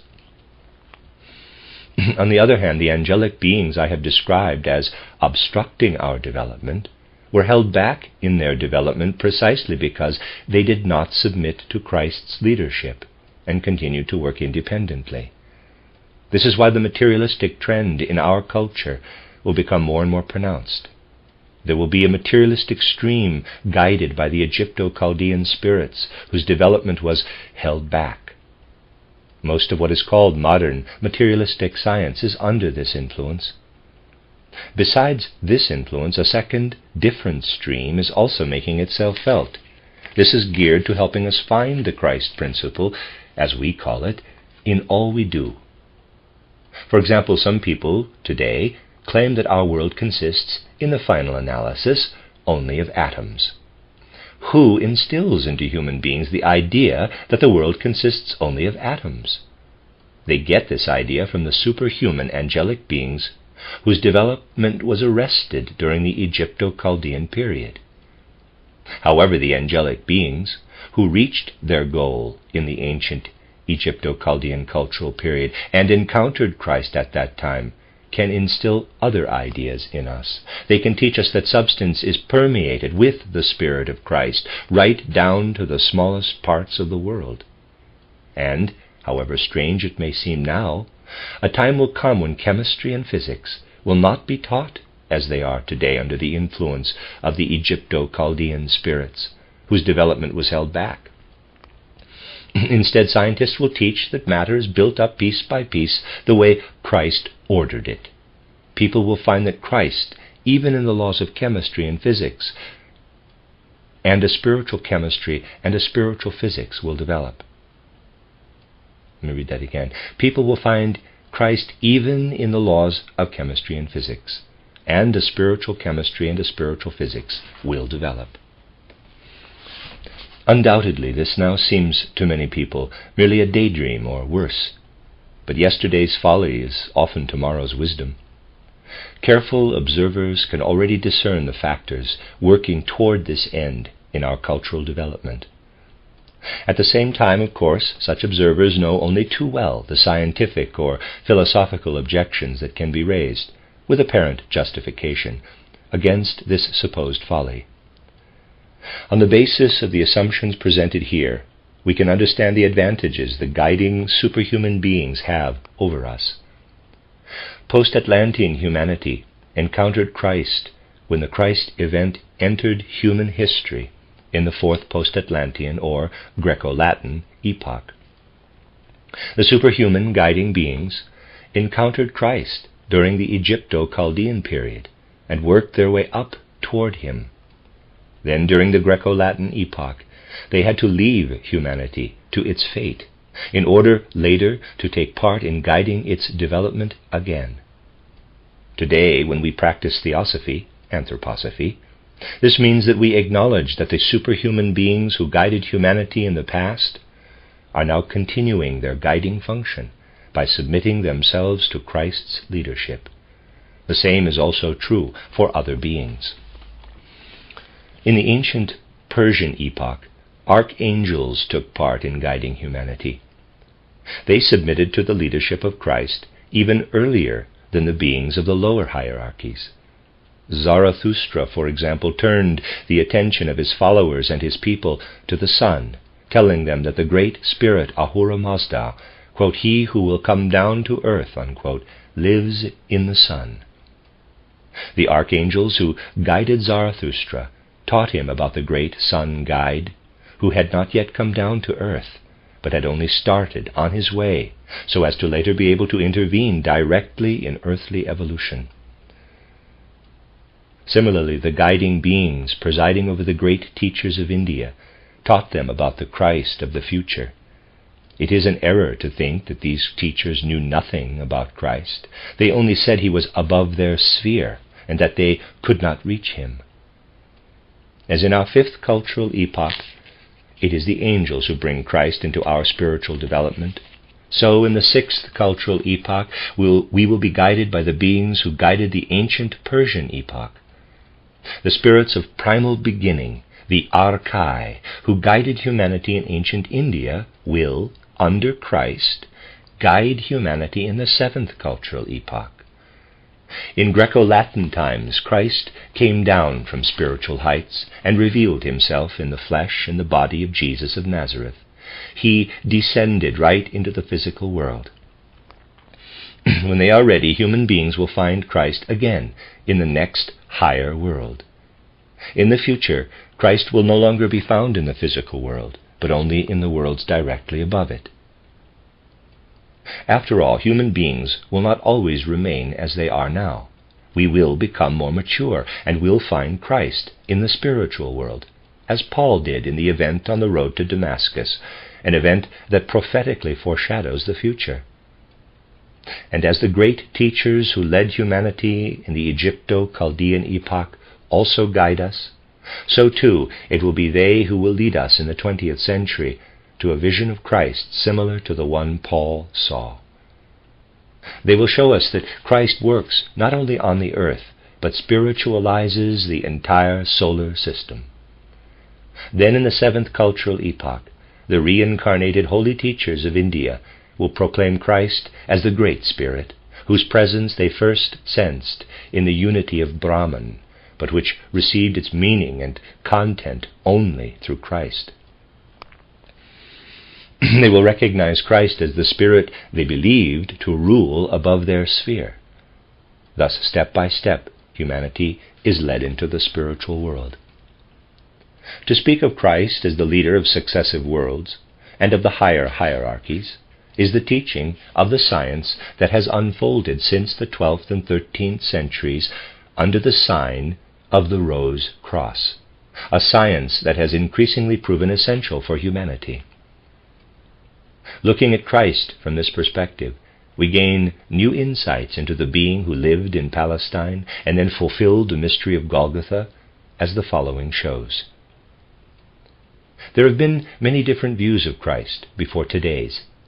For example, certain Christian Gnostics of the first centuries claimed that the Christ who lived in Palestine did not have a physical body of flesh at all, but had only an apparent etheric body that became visible to physical eyes. Consequently, since for them only an etheric body was present, they said Christ's death on the cross was not a real death, but only an apparent one. There were also various disputes among the adherents of Christianity. For example, the famous dispute between the Arians and, and the Athanasians. Arians is A R I A N, maybe Arians or something, Arians. Let me read that again. There were also various disputes among the adherents of Christianity. For example, the famous dispute between the Arians and the Athanasians, and so on, as well as many different interpretations of the true nature of Christ. Many different views of Christ, indeed, have been held by people right into our own time. Spiritual science, however, must see Christ not just as an earthly being, but as a cosmic being. In a certain sense, we human beings are also cosmic beings. We live a dual life, a physical life in the physical body from birth until death, and a life in the spiritual worlds between death and rebirth. While we are incarnated in the physical body, we are dependent on the earth because the physical body is subject to the living conditions and forces of the earth. We ingest the substances and forces of the earth, and we are also part of the earth's physical organism. But once we have passed through the portal of death, we no longer belong to the forces of the earth. Yet it would be wrong to imagine that having passed through the portal of death, we do not belong to any forces at all. For after death, we are connected with the forces of the solar system and the other galaxies. Between death and rebirth, we live in and belong to the cosmos in the same way as between birth and death we live in the earthly realm and belong to the elements of air, water, earth, and so on. After death, we enter the realm of cosmic influences. For example, the planets affect us not only with gravity and other physical forces explained by physical astronomy, but also with their spiritual forces. Indeed, we are connected with these cosmic spiritual forces after death, each of us in a particular way appropriate to our individuality. Just as a person born in Europe has a different relationship to temperature conditions and so on than a person born in Australia, so each of us similarly has a unique individual relationship to the forces working on us during life after death. One person may have a closer relationship to the forces of Mars, while another is more closely connected to those of Jupiter, and yet others may have a closer relationship to the forces of the entire galaxy, and so on. These forces also lead us back to the earth, to our new life. Thus, before our rebirth, we are connected with the entire starry universe. The unique relationship of an individual to the cosmic system determines which forces lead him or her back to earth. They also determine to which parents and to which locality we are brought. The impulse to incarnate in one place or another, in this or that family, in this or that nation, at this or that point in time, is determined by the way the individual is integrated into the cosmos before birth. In the past, the German language had an expression that poignantly characterized the birth of an individual. When someone was born, people said that he or she had, quote unquote, become young. German ist jung geworden. Unconsciously, this expression indicates that following death, we are first subject to the forces that made us old in our previous incarnation. And, but, just before our new birth, these are replaced by other forces that make us young again. In his drama Faust, Goethe says of someone that he became young in Nebelland, the land of mist. Nebelland is the old name for medieval Germany. People who are knowledgeable about these things can read the forces that determine a person's path in his or her physical life. On this basis, horoscopes are cast. Each of us is assigned a particular horoscope in which the forces are revealed that have led us into this life. For example, if in a particular horoscope Mars is above Aries, this means that certain Aries forces cannot pass through Mars, but are weakened instead. Thus, human beings on their way into physical existence can get their bearings through their horoscope. Before ending this discussion, which after all seems a daring one in our time, we should note that most of what is presented today in this area is the purest dilettantism and pure superstition. as far as the world at large is concerned, the true science of these things has largely been lost. Therefore, the principles presented here should not be judged according to the claims of modern astrology, which is highly questionable. The active forces of the starry world push us into physical incarnation. Clairvoyant perception allows us to see in a person's organization that he or she is indeed the result of the working together of such cosmic forces.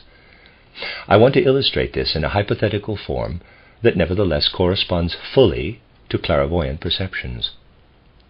If we examined the structure of a person's brain clairvoyantly and could see that certain functions are located in certain places and give rise to certain processes, we would find that each person's brain is different. No two people have the same brain.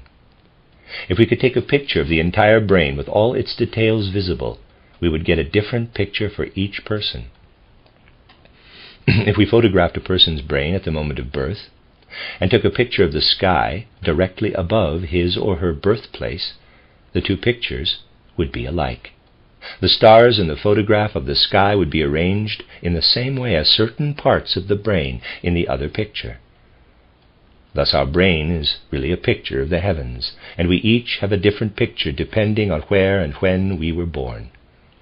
This indicates that we are born out of the entire universe. This insight gives us an idea of the way the macrocosm manifests in the individual, and from this, in turn, we can understand how it manifests in Christ. If we were to think that after the baptism the macrocosm lived in Christ in the same way as it does in any other human being, we would have the wrong idea. Let us consider for a moment Jesus of Nazareth and his extraordinary life. At the beginning of the Christian era, two boys named Jesus were born. One belonged to the Nathan line of the house of David, the other to the Solomon line of the same house. These two boys were born at approximately, though not exactly, the same time. In the Solomon child, portrayed in the Gospel of St. Matthew, the individuality who had lived earlier as Zarathustra incarnated. Thus, in the Jesus depicted in the Gospel of St. Matthew, we actually encounter the reincarnated Zarathustra, or Zoroaster. The individuality of Zarathustra grew up in this child just as Matthew describes it, until the boy's twelfth year. then Zarathustra left his body and entered the body of the other Jesus, the one described by the Gospel of St. Luke. That is why at this moment the child Jesus so suddenly became entirely different from what he had previously been. When his parents found him in the temple in Jerusalem after the spirit of Zarathustra had entered him, they were astonished.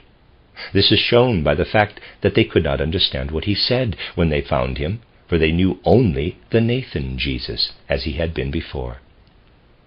The Jesus who now stood before them could talk as he did to the scribes in the temple, because the spirit of Zarathustra had now entered into him. The spirit of Zarathustra lived and matured to a still higher perfection in this Jesus, who came from the Nathan line of the house of David up to his thirtieth year. It should also be noted that impulses from the Buddha streamed out of the spiritual world into the astral body of this youth, in whom the spirit of Zarathustra now lived. It is true, as the Eastern tradition teaches, that the Buddha was born as a bodhisattva and only reached the rank of Buddha on earth in his 29th year. When Gautama Buddha was still a small child, Asita, the great Indian sage, came weeping to the royal palace. As a seer, Asita knew this royal child would become the Buddha. He only regretted that since he was already an old man, he would not live to see the son of Suddhodana become Buddha. This wise man, Asita, was reborn in the time of Jesus of Nazareth. It is he who is introduced in St. Luke's Gospel as the temple priest and sees the Buddha reveal himself in the Nathan Jesus. And because he saw this, he said, quote, Lord, now lettest thou thy servant depart in peace, for mine eyes have seen thy salvation. Quote, Luke 2 29 and 30.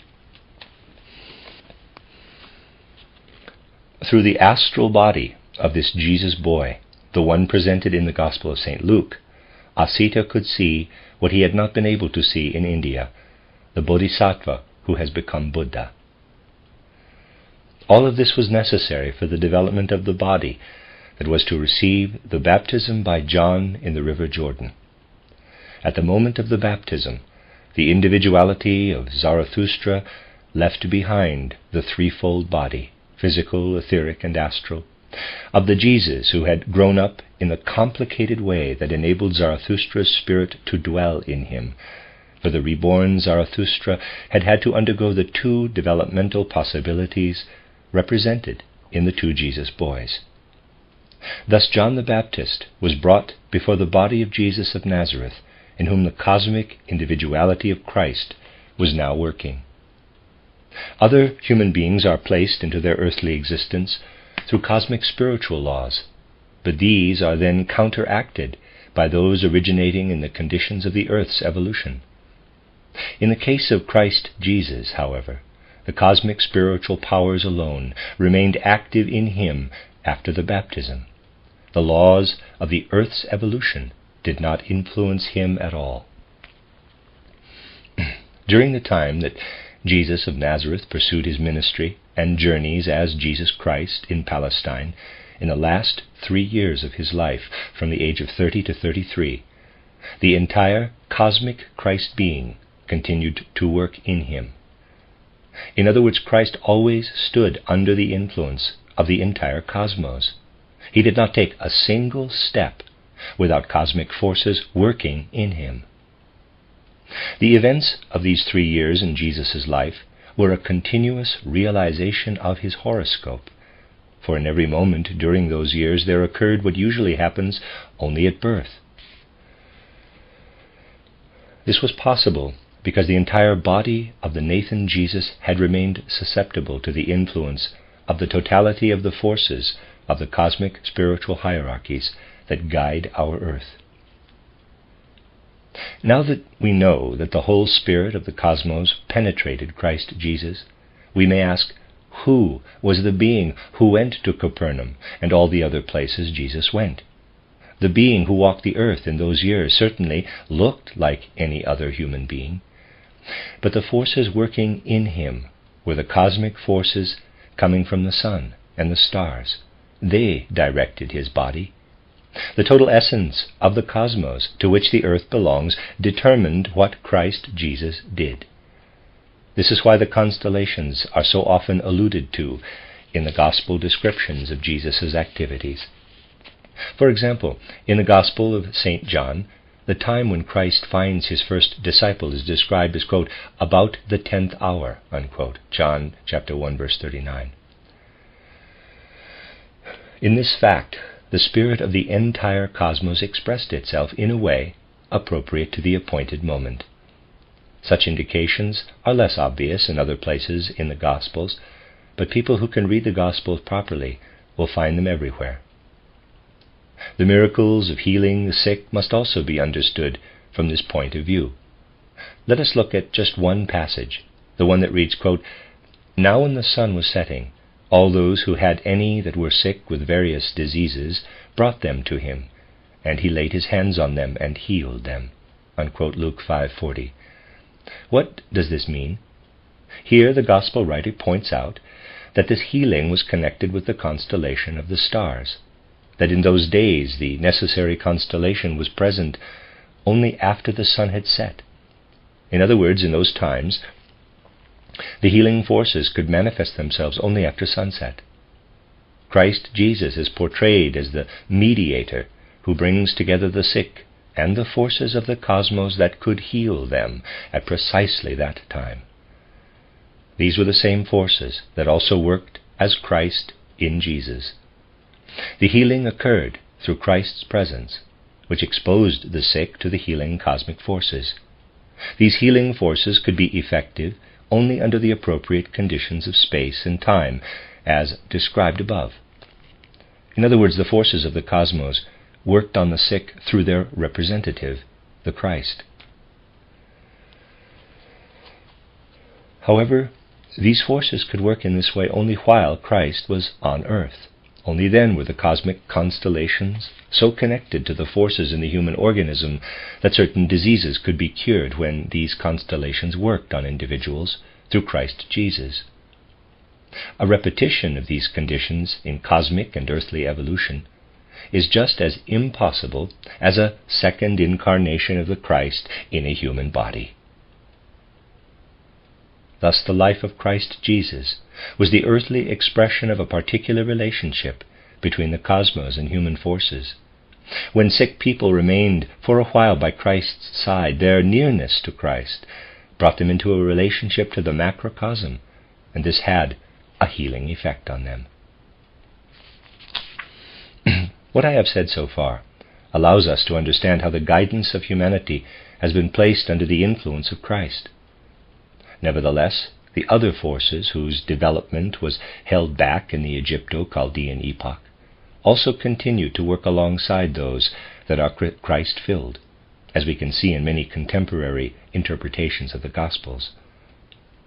Books are published that take great pains to show that the Gospels can be understood astrologically.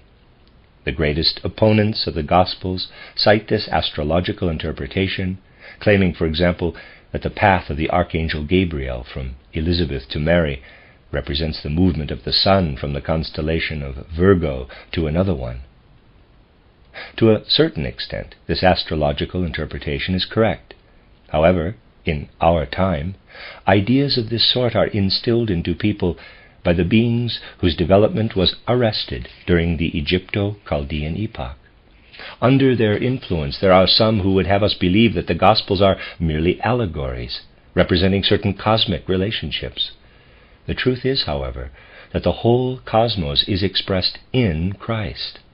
In other words, we can characterize Christ's life by describing for each of its events the cosmic relationships that, through Christ, entered life on earth. As soon as we understand all this correctly, we will inevitably and fully accept that Christ lived on earth. The false view mentioned above, however, claims that because Christ's life is expressed in the Gospels through cosm- cosmic constellations, it follows necessarily that the Gospels are only an allegory of these constellations, and that Christ did not really live on earth. Allow me to use a comparison to make things clear. Imagine every person at birth as a spherical mirror reflecting everything around it.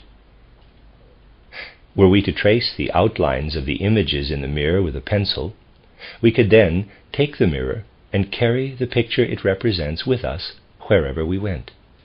Just so we carry a picture of the cosmos within us when we are born, and this one picture affects and influences us throughout our lives. Of course, we could also leave the mirror clean as it was originally, in which case it would reflect its surroundings wherever we took it, providing us with a complete picture of the world around us. This analogy explains how Christ was in the time between the baptism in the Jordan and the mystery of Golgotha. What enters our earthly life only at our birth flowed into Christ Jesus at each moment of his life. After the mystery of Golgotha, what had streamed into Christ from the cosmos merged with the spiritual substance of the earth, and it has been united with the spirit of the earth ever since. when Paul became clairvoyant on his way to Damascus, he was able to perceive that what had previously been in the cosmos had merged with the spirit of the earth. People who can relive this event in their soul can see this for themselves. In the 20th century, human beings are able for the first time to experience the Christ event spiritually, as St. Paul did. Up to this century, only those individuals who had gained clairvoyant powers through esoteric schooling were able to have such experiences.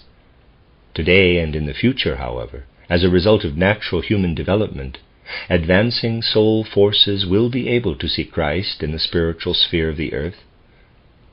Beginning with a certain point in the 20th century, a few people will be able to have such experiences and will be able to relive the incident at Damascus. But thereafter, gradually, more and more people will be able to do so.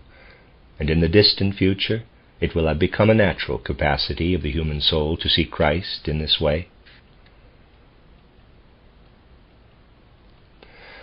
When Christ entered earthly history, a completely new element was introduced into it. Even the outer events of history bear witness to this. In the first cultural periods, after the Atlantean catastrophe, people knew very well that the physical planets, such as Mars, Jupiter, or Saturn, were the expressions or manifestations of spiritual beings. In later ages, this view was completely forgotten.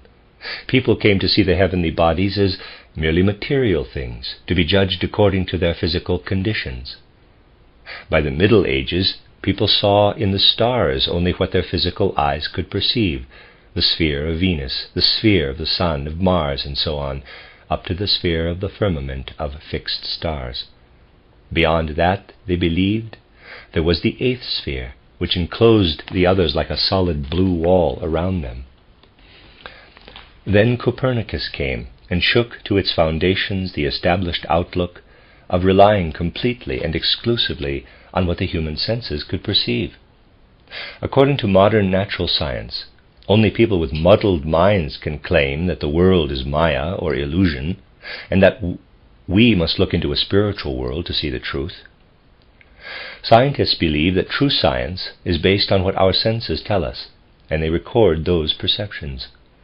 However, the only time when astronomers relied exclusively on their senses was in the days when the astronomy prevailed that modern astronomers oppose.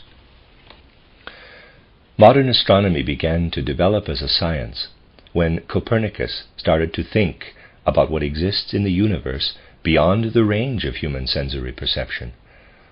In fact, it is true of all the sciences that they developed in opposition to sensory appearance.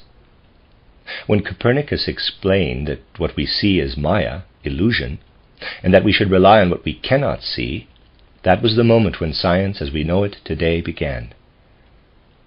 In other words, the modern sciences did not become science until they stopped relying exclusively on sensory perception. Giordano Bruno, as the philosophical interpreter of Copernicus's teachings, proclaimed that the eighth sphere, which had been considered the boundary of space enclosing everything, was not a boundary at all. It was Maya, an illusion, and only appeared to be the boundary. In reality, a vast number of worlds had been poured into the universe. Thus, what had previously been regarded as the boundary of the universe now, now became the boundary of the world of human sensory perception. We have to look beyond the sense world. Once we no longer see the world merely as it appears to our senses, then we can perceive infinity. Originally, then, humanity had a spiritual view of the cosmos but in the course of history this was gradually lost. The spiritual view was replaced by an understanding of the world based exclusively on sensory perception. Then the Christ impulse entered human history. Through this principle, humanity was led once again to imbue the materialistic outlook with spirituality. At the moment when Giordano Bruno burst the confines of sensory appearance the Christ development had so far advanced in him that the soul force, which had been kindled by the Christ impulse, could be active within him. This indicates the significance of Christ's involvement in human history and development, which is really still in its early stages. What then are the goals of spiritual science?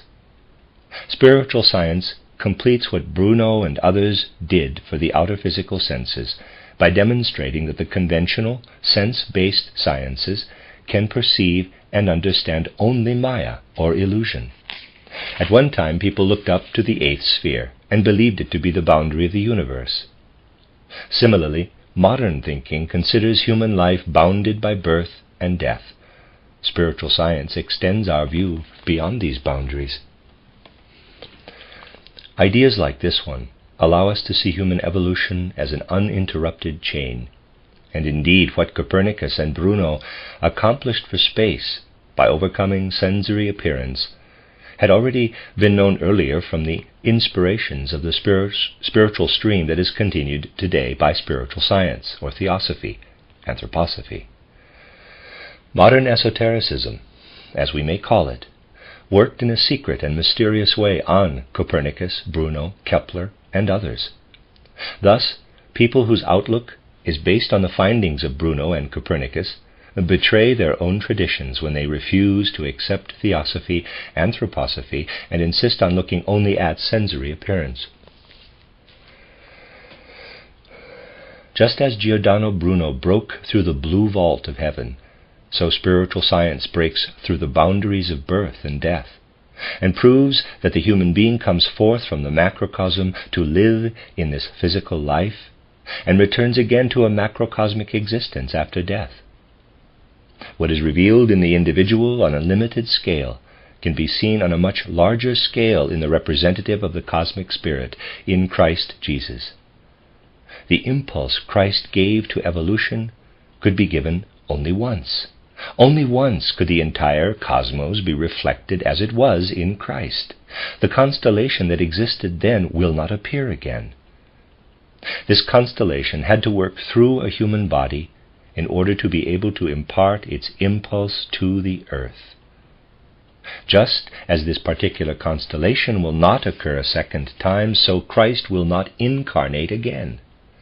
People claim that Christ will appear again on earth only because they do not know that Christ is the representative of the entire universe, and because they cannot find the way to the Christ idea presented in all its elements by spiritual science.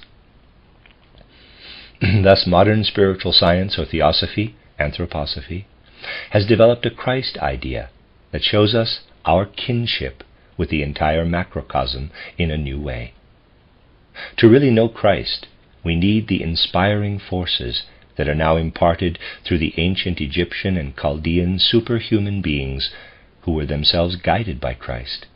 We need this new inspiration, which has been prepared by the great esotericists of the Middle Ages since the 13th century. This new inspiration must now be brought more and more to the attention of the general public. If we prepare the soul properly for the perception of the spiritual world, according to the teachings of spiritual science, we will be able to hear clairaudiently and to see clairvoyantly what is revealed by these ancient Chaldean and Egyptian powers, who have now become spiritual guides under the leadership of the Christ being.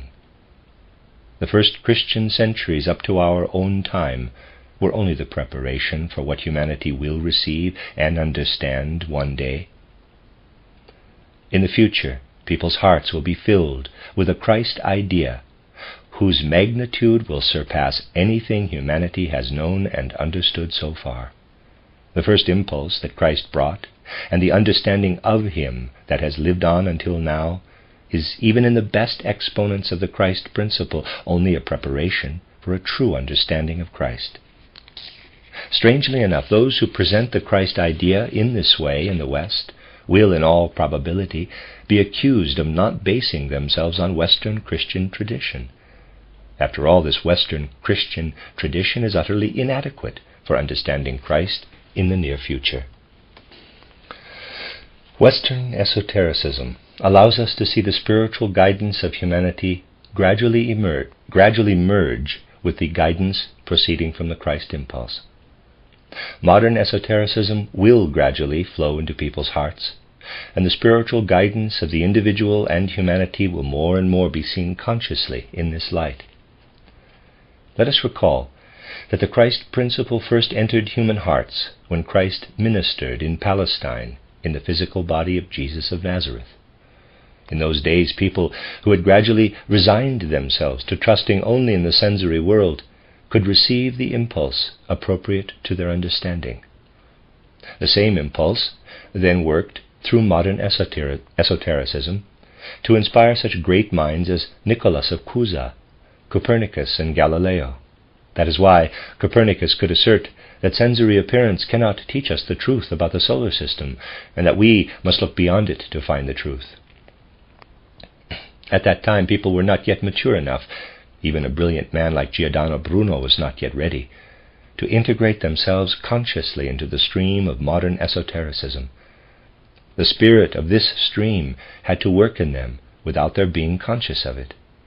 Giordano Bruno proclaimed proudly that the human being is actually a macrocosmic being condensed into a monad to enter physical existence, and that this monad expands again when the individual dies.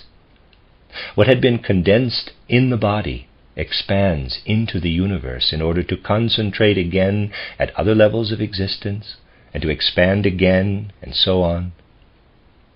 Bruno expressed great thoughts that fully agree with modern esotericism, even though they may sound like stammering to our modern ears.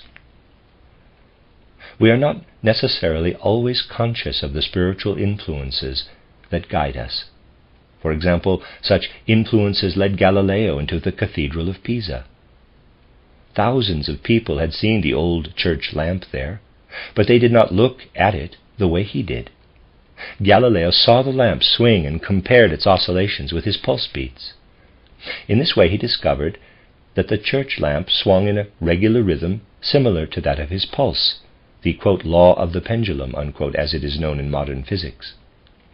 Anyone familiar with modern physics knows that physics, as we know it, would not exist if it had not been for Galileo's laws. What was at work in leading Galileo to the swinging lamp in the cathedral, thus giving modern physics its first principles, now works in spiritual science. the powers that guide us spiritually work secretly in this way.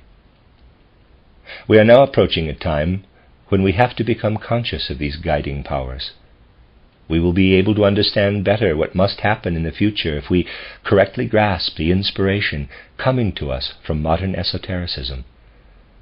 From this inspiration, we also know that the spiritual beings whom the ancient Egyptians considered to be their teachers, the same beings who ruled as gods, are ruling again, but that they now want to submit to Christ's leadership People will feel more and more that they can allow pre Christian elements to be resurrected in glory and style on a higher level. In the present era, we need a strengthened consciousness, a high sense of duty and responsibility concerning the understanding of the spiritual world. For this to enter our soul, we must understand the mission of spiritual science in the way I have outlined. The end of Lecture 3, there follows an appendix after, uh, in the next section. This is a reading of the book, The Spiritual Guidance of the Individual and Humanity, given in Copenhagen in 1911. These three lectures were in fact revised by Rudolf Steiner, and that's why I put them in the written section of the uh, website.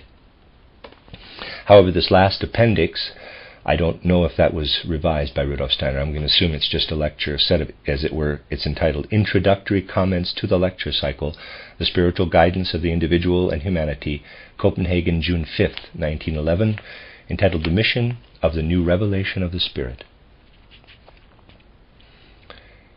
In the next few days, I will have the opportunity to speak here about a theosophical subject that is important to me namely the spiritual guidance of the individual and humanity. Since our friends here have asked me to, I will preface my lecture series today with a few comments that may serve as a kind of introduction to the subject. Theosophists must have as a characteristic what we may call an inherent yearning for self knowledge in the broadest sense. Even people only slightly familiar with theosophy can sense that such self knowledge will give birth to a comprehensive appreciation for all human feeling and thinking, as well as for all other beings. This appreciation must be an indispensable part of our whole theosophical movement. Footnote For the sake of historical accuracy, and to indicate the tone of the original, we have not substituted or added anthroposophy where Steiner speaks of theosophy, or anthroposophical movement where he speaks of theosophical movement. Nevertheless, the continuity between Rudolf Steiner's theosophy and anthroposophy should always be kept in mind. End of footnote. Often people do not understand clearly that in our German theosophical movement, what lights up our way is the sign you know as the mark of the cross with roses. It is easy to harbor misunderstandings about our spiritual theosophical movement that seeks to live into the spiritual life of today that is, into our hearts and their feelings, our will and its deeds, under the sign of the Rose Cross. People easily misunderstand our movement. Many people, even those with good intentions, have difficulty realizing that our spiritual movement, working under the sign of the Rose Cross, is inspired in all its principles, in its whole feeling and sensitivity, to be understanding and tolerant of every human striving and every aspiration. Through this tolerance is an inherent characteristic, excuse me, though this tolerance is an inherent characteristic of the Rosicrucian movement, it may not be obvious at first glance, because it lies in its depths. You will find, therefore, that people who confuse tolerance with a one sided acceptance of their own opinions, principles, and methods are particularly likely to misunderstand our movement. It is very easy to imagine this tolerance, yet to attain it is extremely difficult.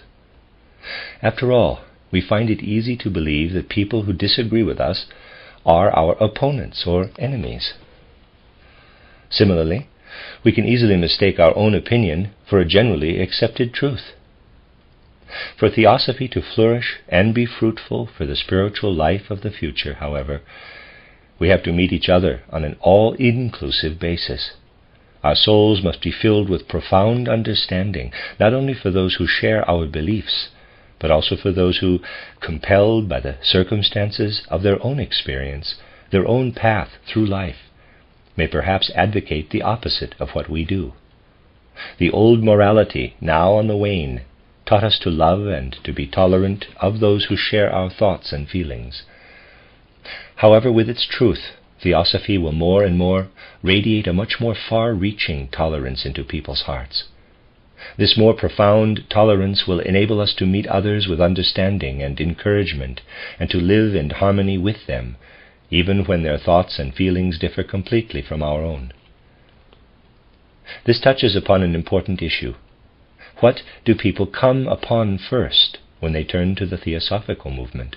What are they compelled to acknowledge first? Normally, the general insight people encounter first when they approach theosophy is the idea of reincarnation and karma, the idea of the continued working of causes from one life into the next. of course, this is not a dogma for us. Indeed, we may have different opinions about this basic insight.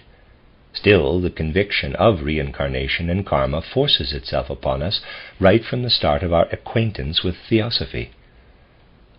However, it is a long way from the day we first become convinced of these truths to the moment when we can begin, in some way, to see our whole life in the light of these truths.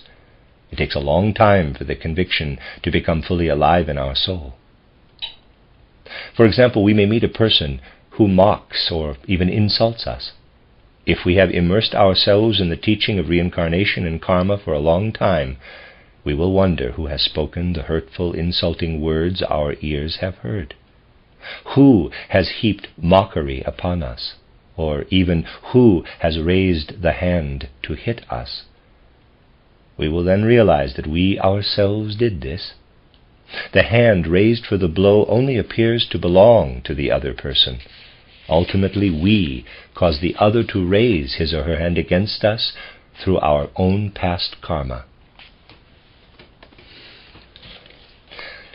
This merely hints at the long path from the abstract, theoretical conviction of karma to the point, to the point where we can see our whole life in the light of this idea.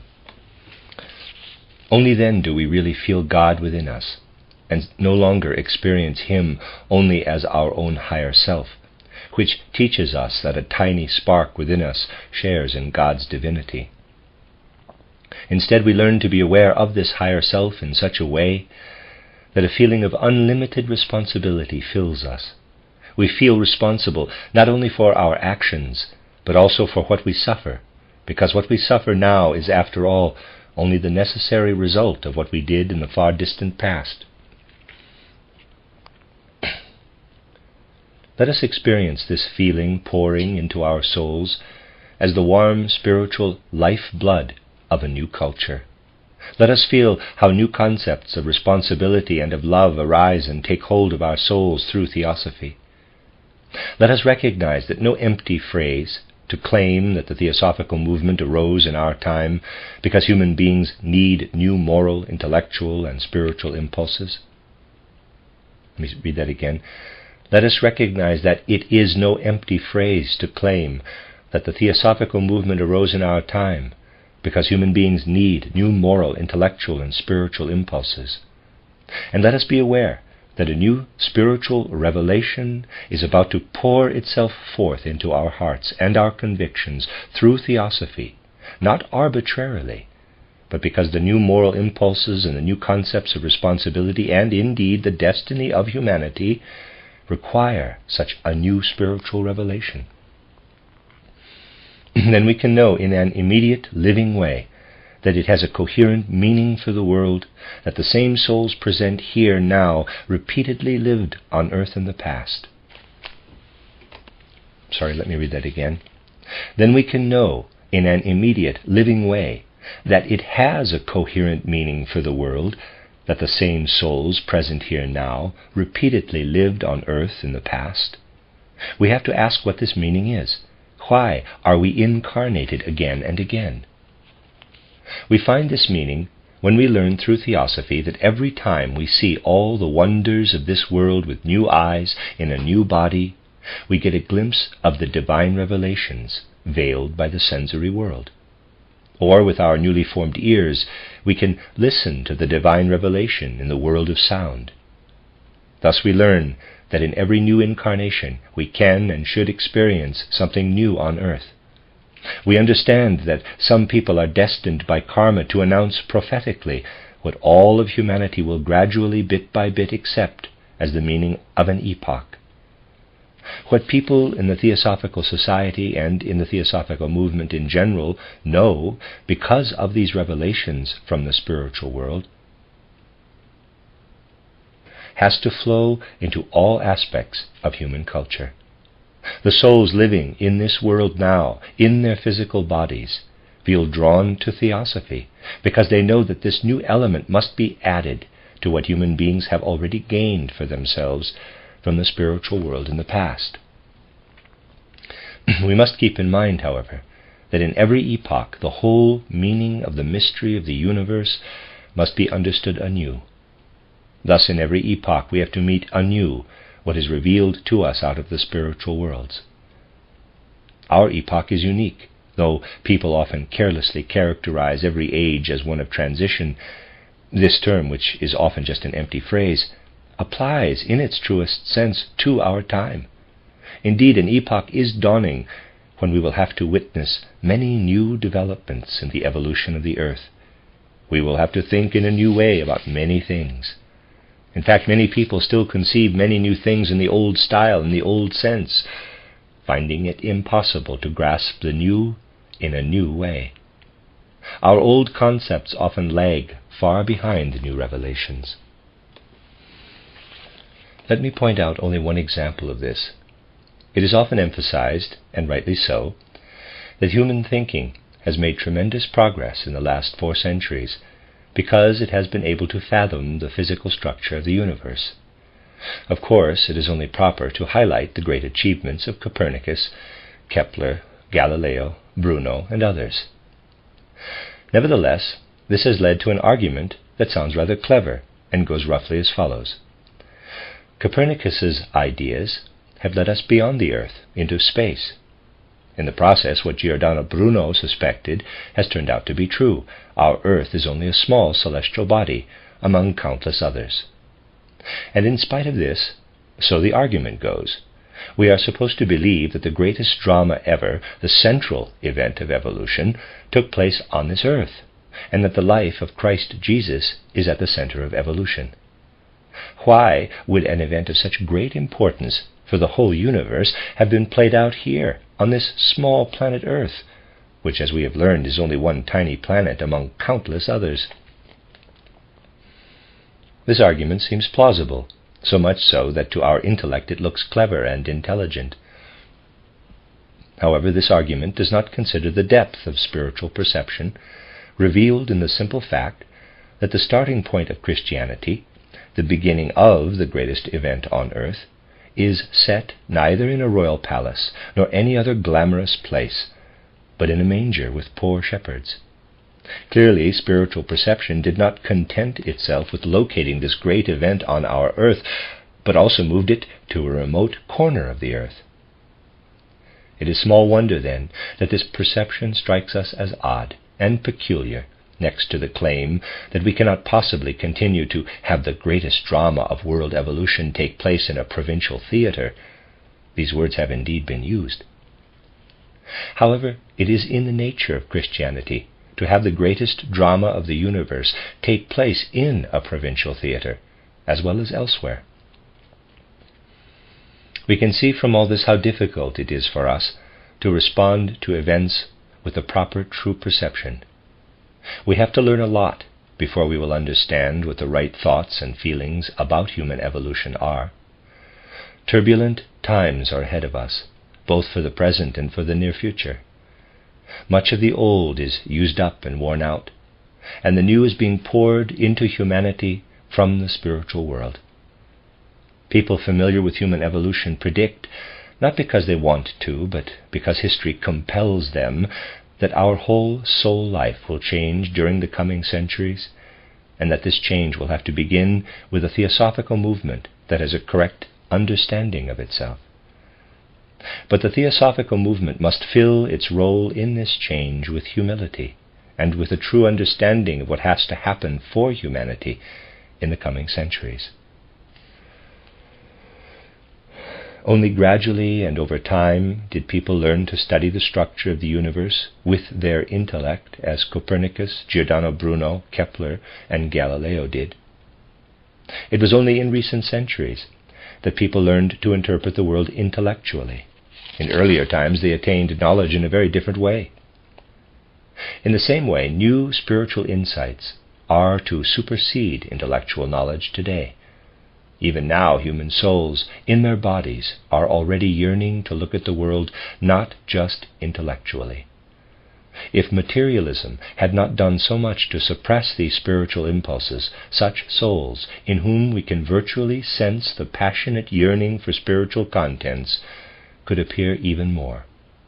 These spiritual impulses could then make themselves felt more strongly in people who are only waiting for an opportunity to look at the universe and existence in a different way than they did up to now. Privileged people, endowed with what we usually call grace, can often see in their mind's eyes what becomes the general vision of all humanity centuries later.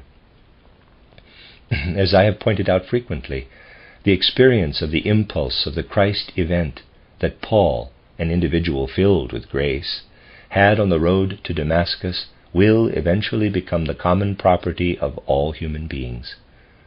As Paul knew through a spiritual revelation who Christ was and what he had done, so all people will eventually receive this knowledge, this vision.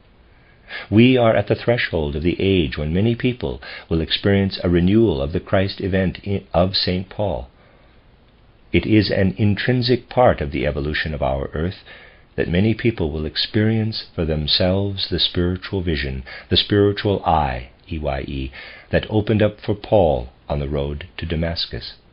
This spiritual eye looks into the spiritual world, bringing us the truth about Christ, which Paul had not believed when he had heard it in Jerusalem. The occurrence of this event is an historical necessity. This is what has been called the second advent of Christ in the 20th century.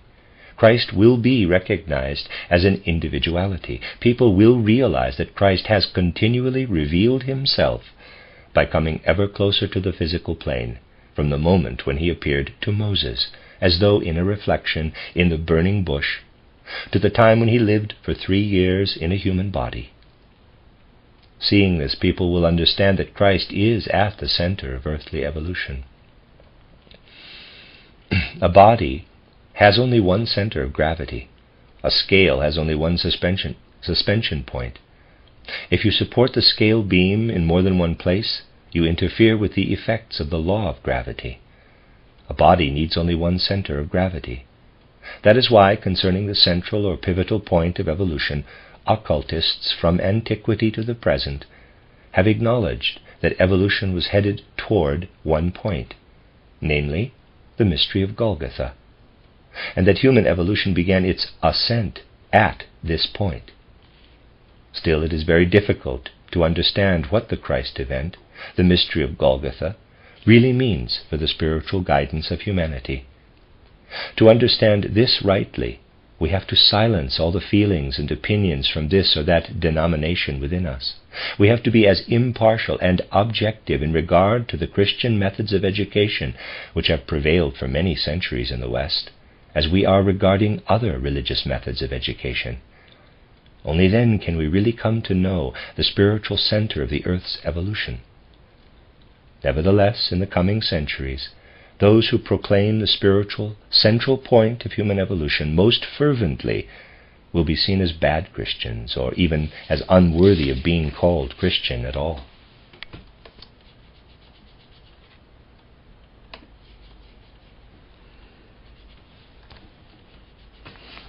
Oh, oh, wait. Scared me.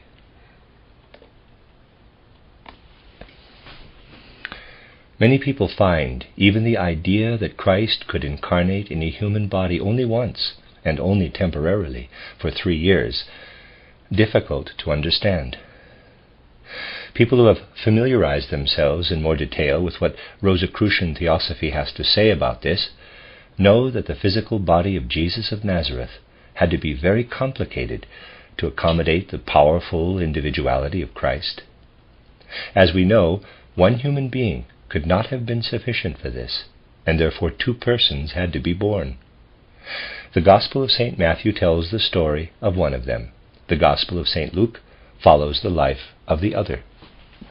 Many people find even the idea that Christ could incarnate in a human body only once, and only temporarily for three years, difficult to understand.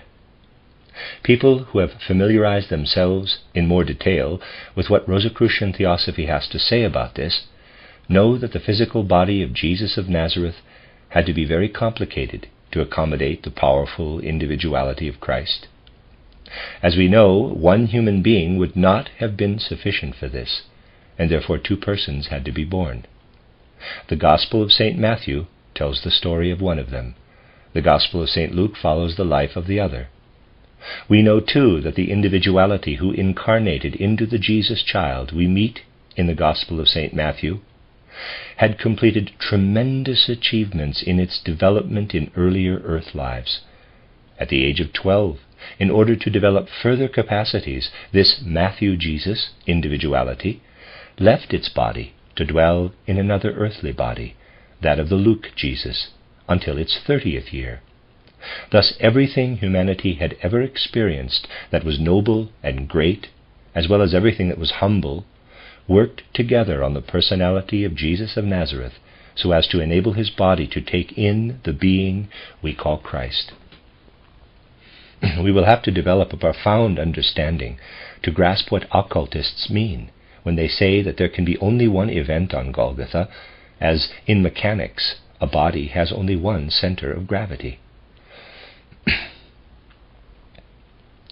An epoch that faces great soul events, such as the ones we have briefly outlined here, is particularly suited to lead us to search our souls.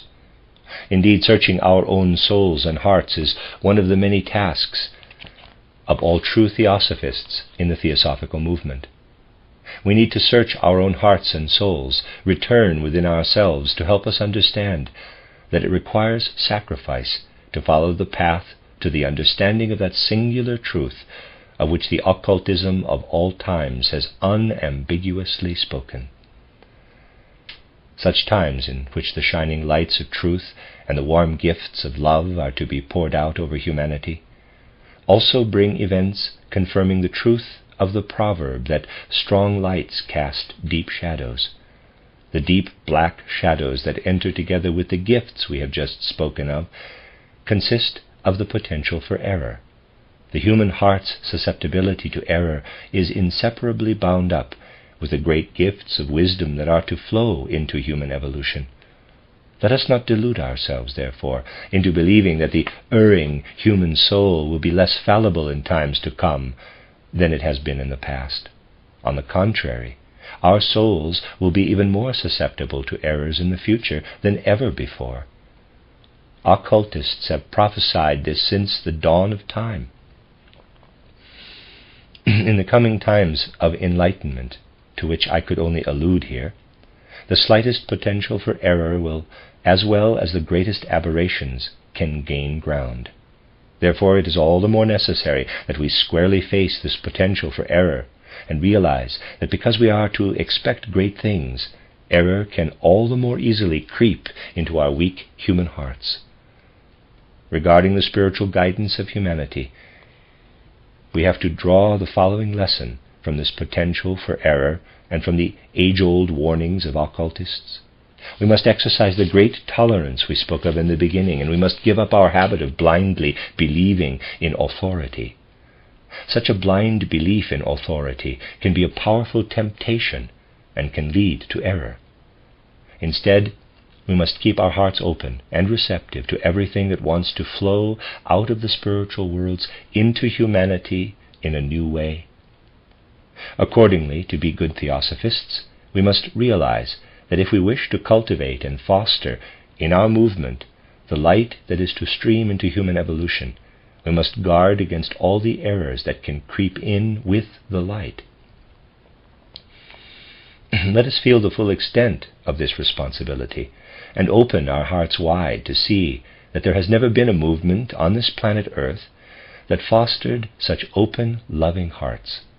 Let us realize that it is better to be opposed by those who believe their opinion is the only true one than to fight them. It is a long way, excuse me, yeah, it is a long way from one of these extremes to the other. Nevertheless, those who take up the theosophical movement spiritually will be able to live with something that has run through all history as a seed sentence, a motto for all spirituality, and rightly so. Upon realizing that though there is much light, the potential for error is great, you may have doubts and wonder how we, weak human beings, can find our way in this confusion. How are we to distinguish between truth and error? When such thoughts arise within you, you will find comfort and strength in the motto The truth is what leads to the highest and noblest impulses for human evolution. The truth should be dearer to us than we are to ourselves. If our relationship to truth is guided by these words and we still make a mistake in this life, the truth will be strong enough to draw us to itself in the next incarnation. Honest mistakes we make in this incarnation will be compensated and redeemed in the next. It is better to make an honest mistake than to adhere to dogmas dishonestly. After all, our path will be lit by the promise that truth will ultimately prevail, not by our will, but by its own inherent divine power. However, if our circumstances in this incarnation propel us into error instead of into truth, and if we are too weak to obey when truth pulls us toward itself, then it will be good if what we believe in disappears. For then it does not and should not have the strength to live. If we are honestly striving for truth, truth will be the victorious impulse in the world.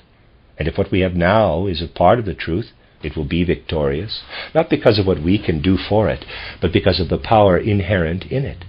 If what we have is error, however, then let us be strong enough to say that this error should perish. If we take this as our guiding motto, we will find the standpoint that enables us to realize that under any circumstances we can find what we need, namely confidence.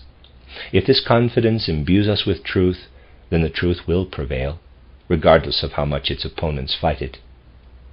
This feeling can live in the soul of every theosophist, and if we are to impart to others what flows down to us from the spiritual world, evoking feelings in human hearts that give us certainty and strength for life, then the mission of the new spiritual revelation will be fulfilled. The revelation that has come to humanity through what we call theosophy, to lead human souls gradually into a more spiritual future.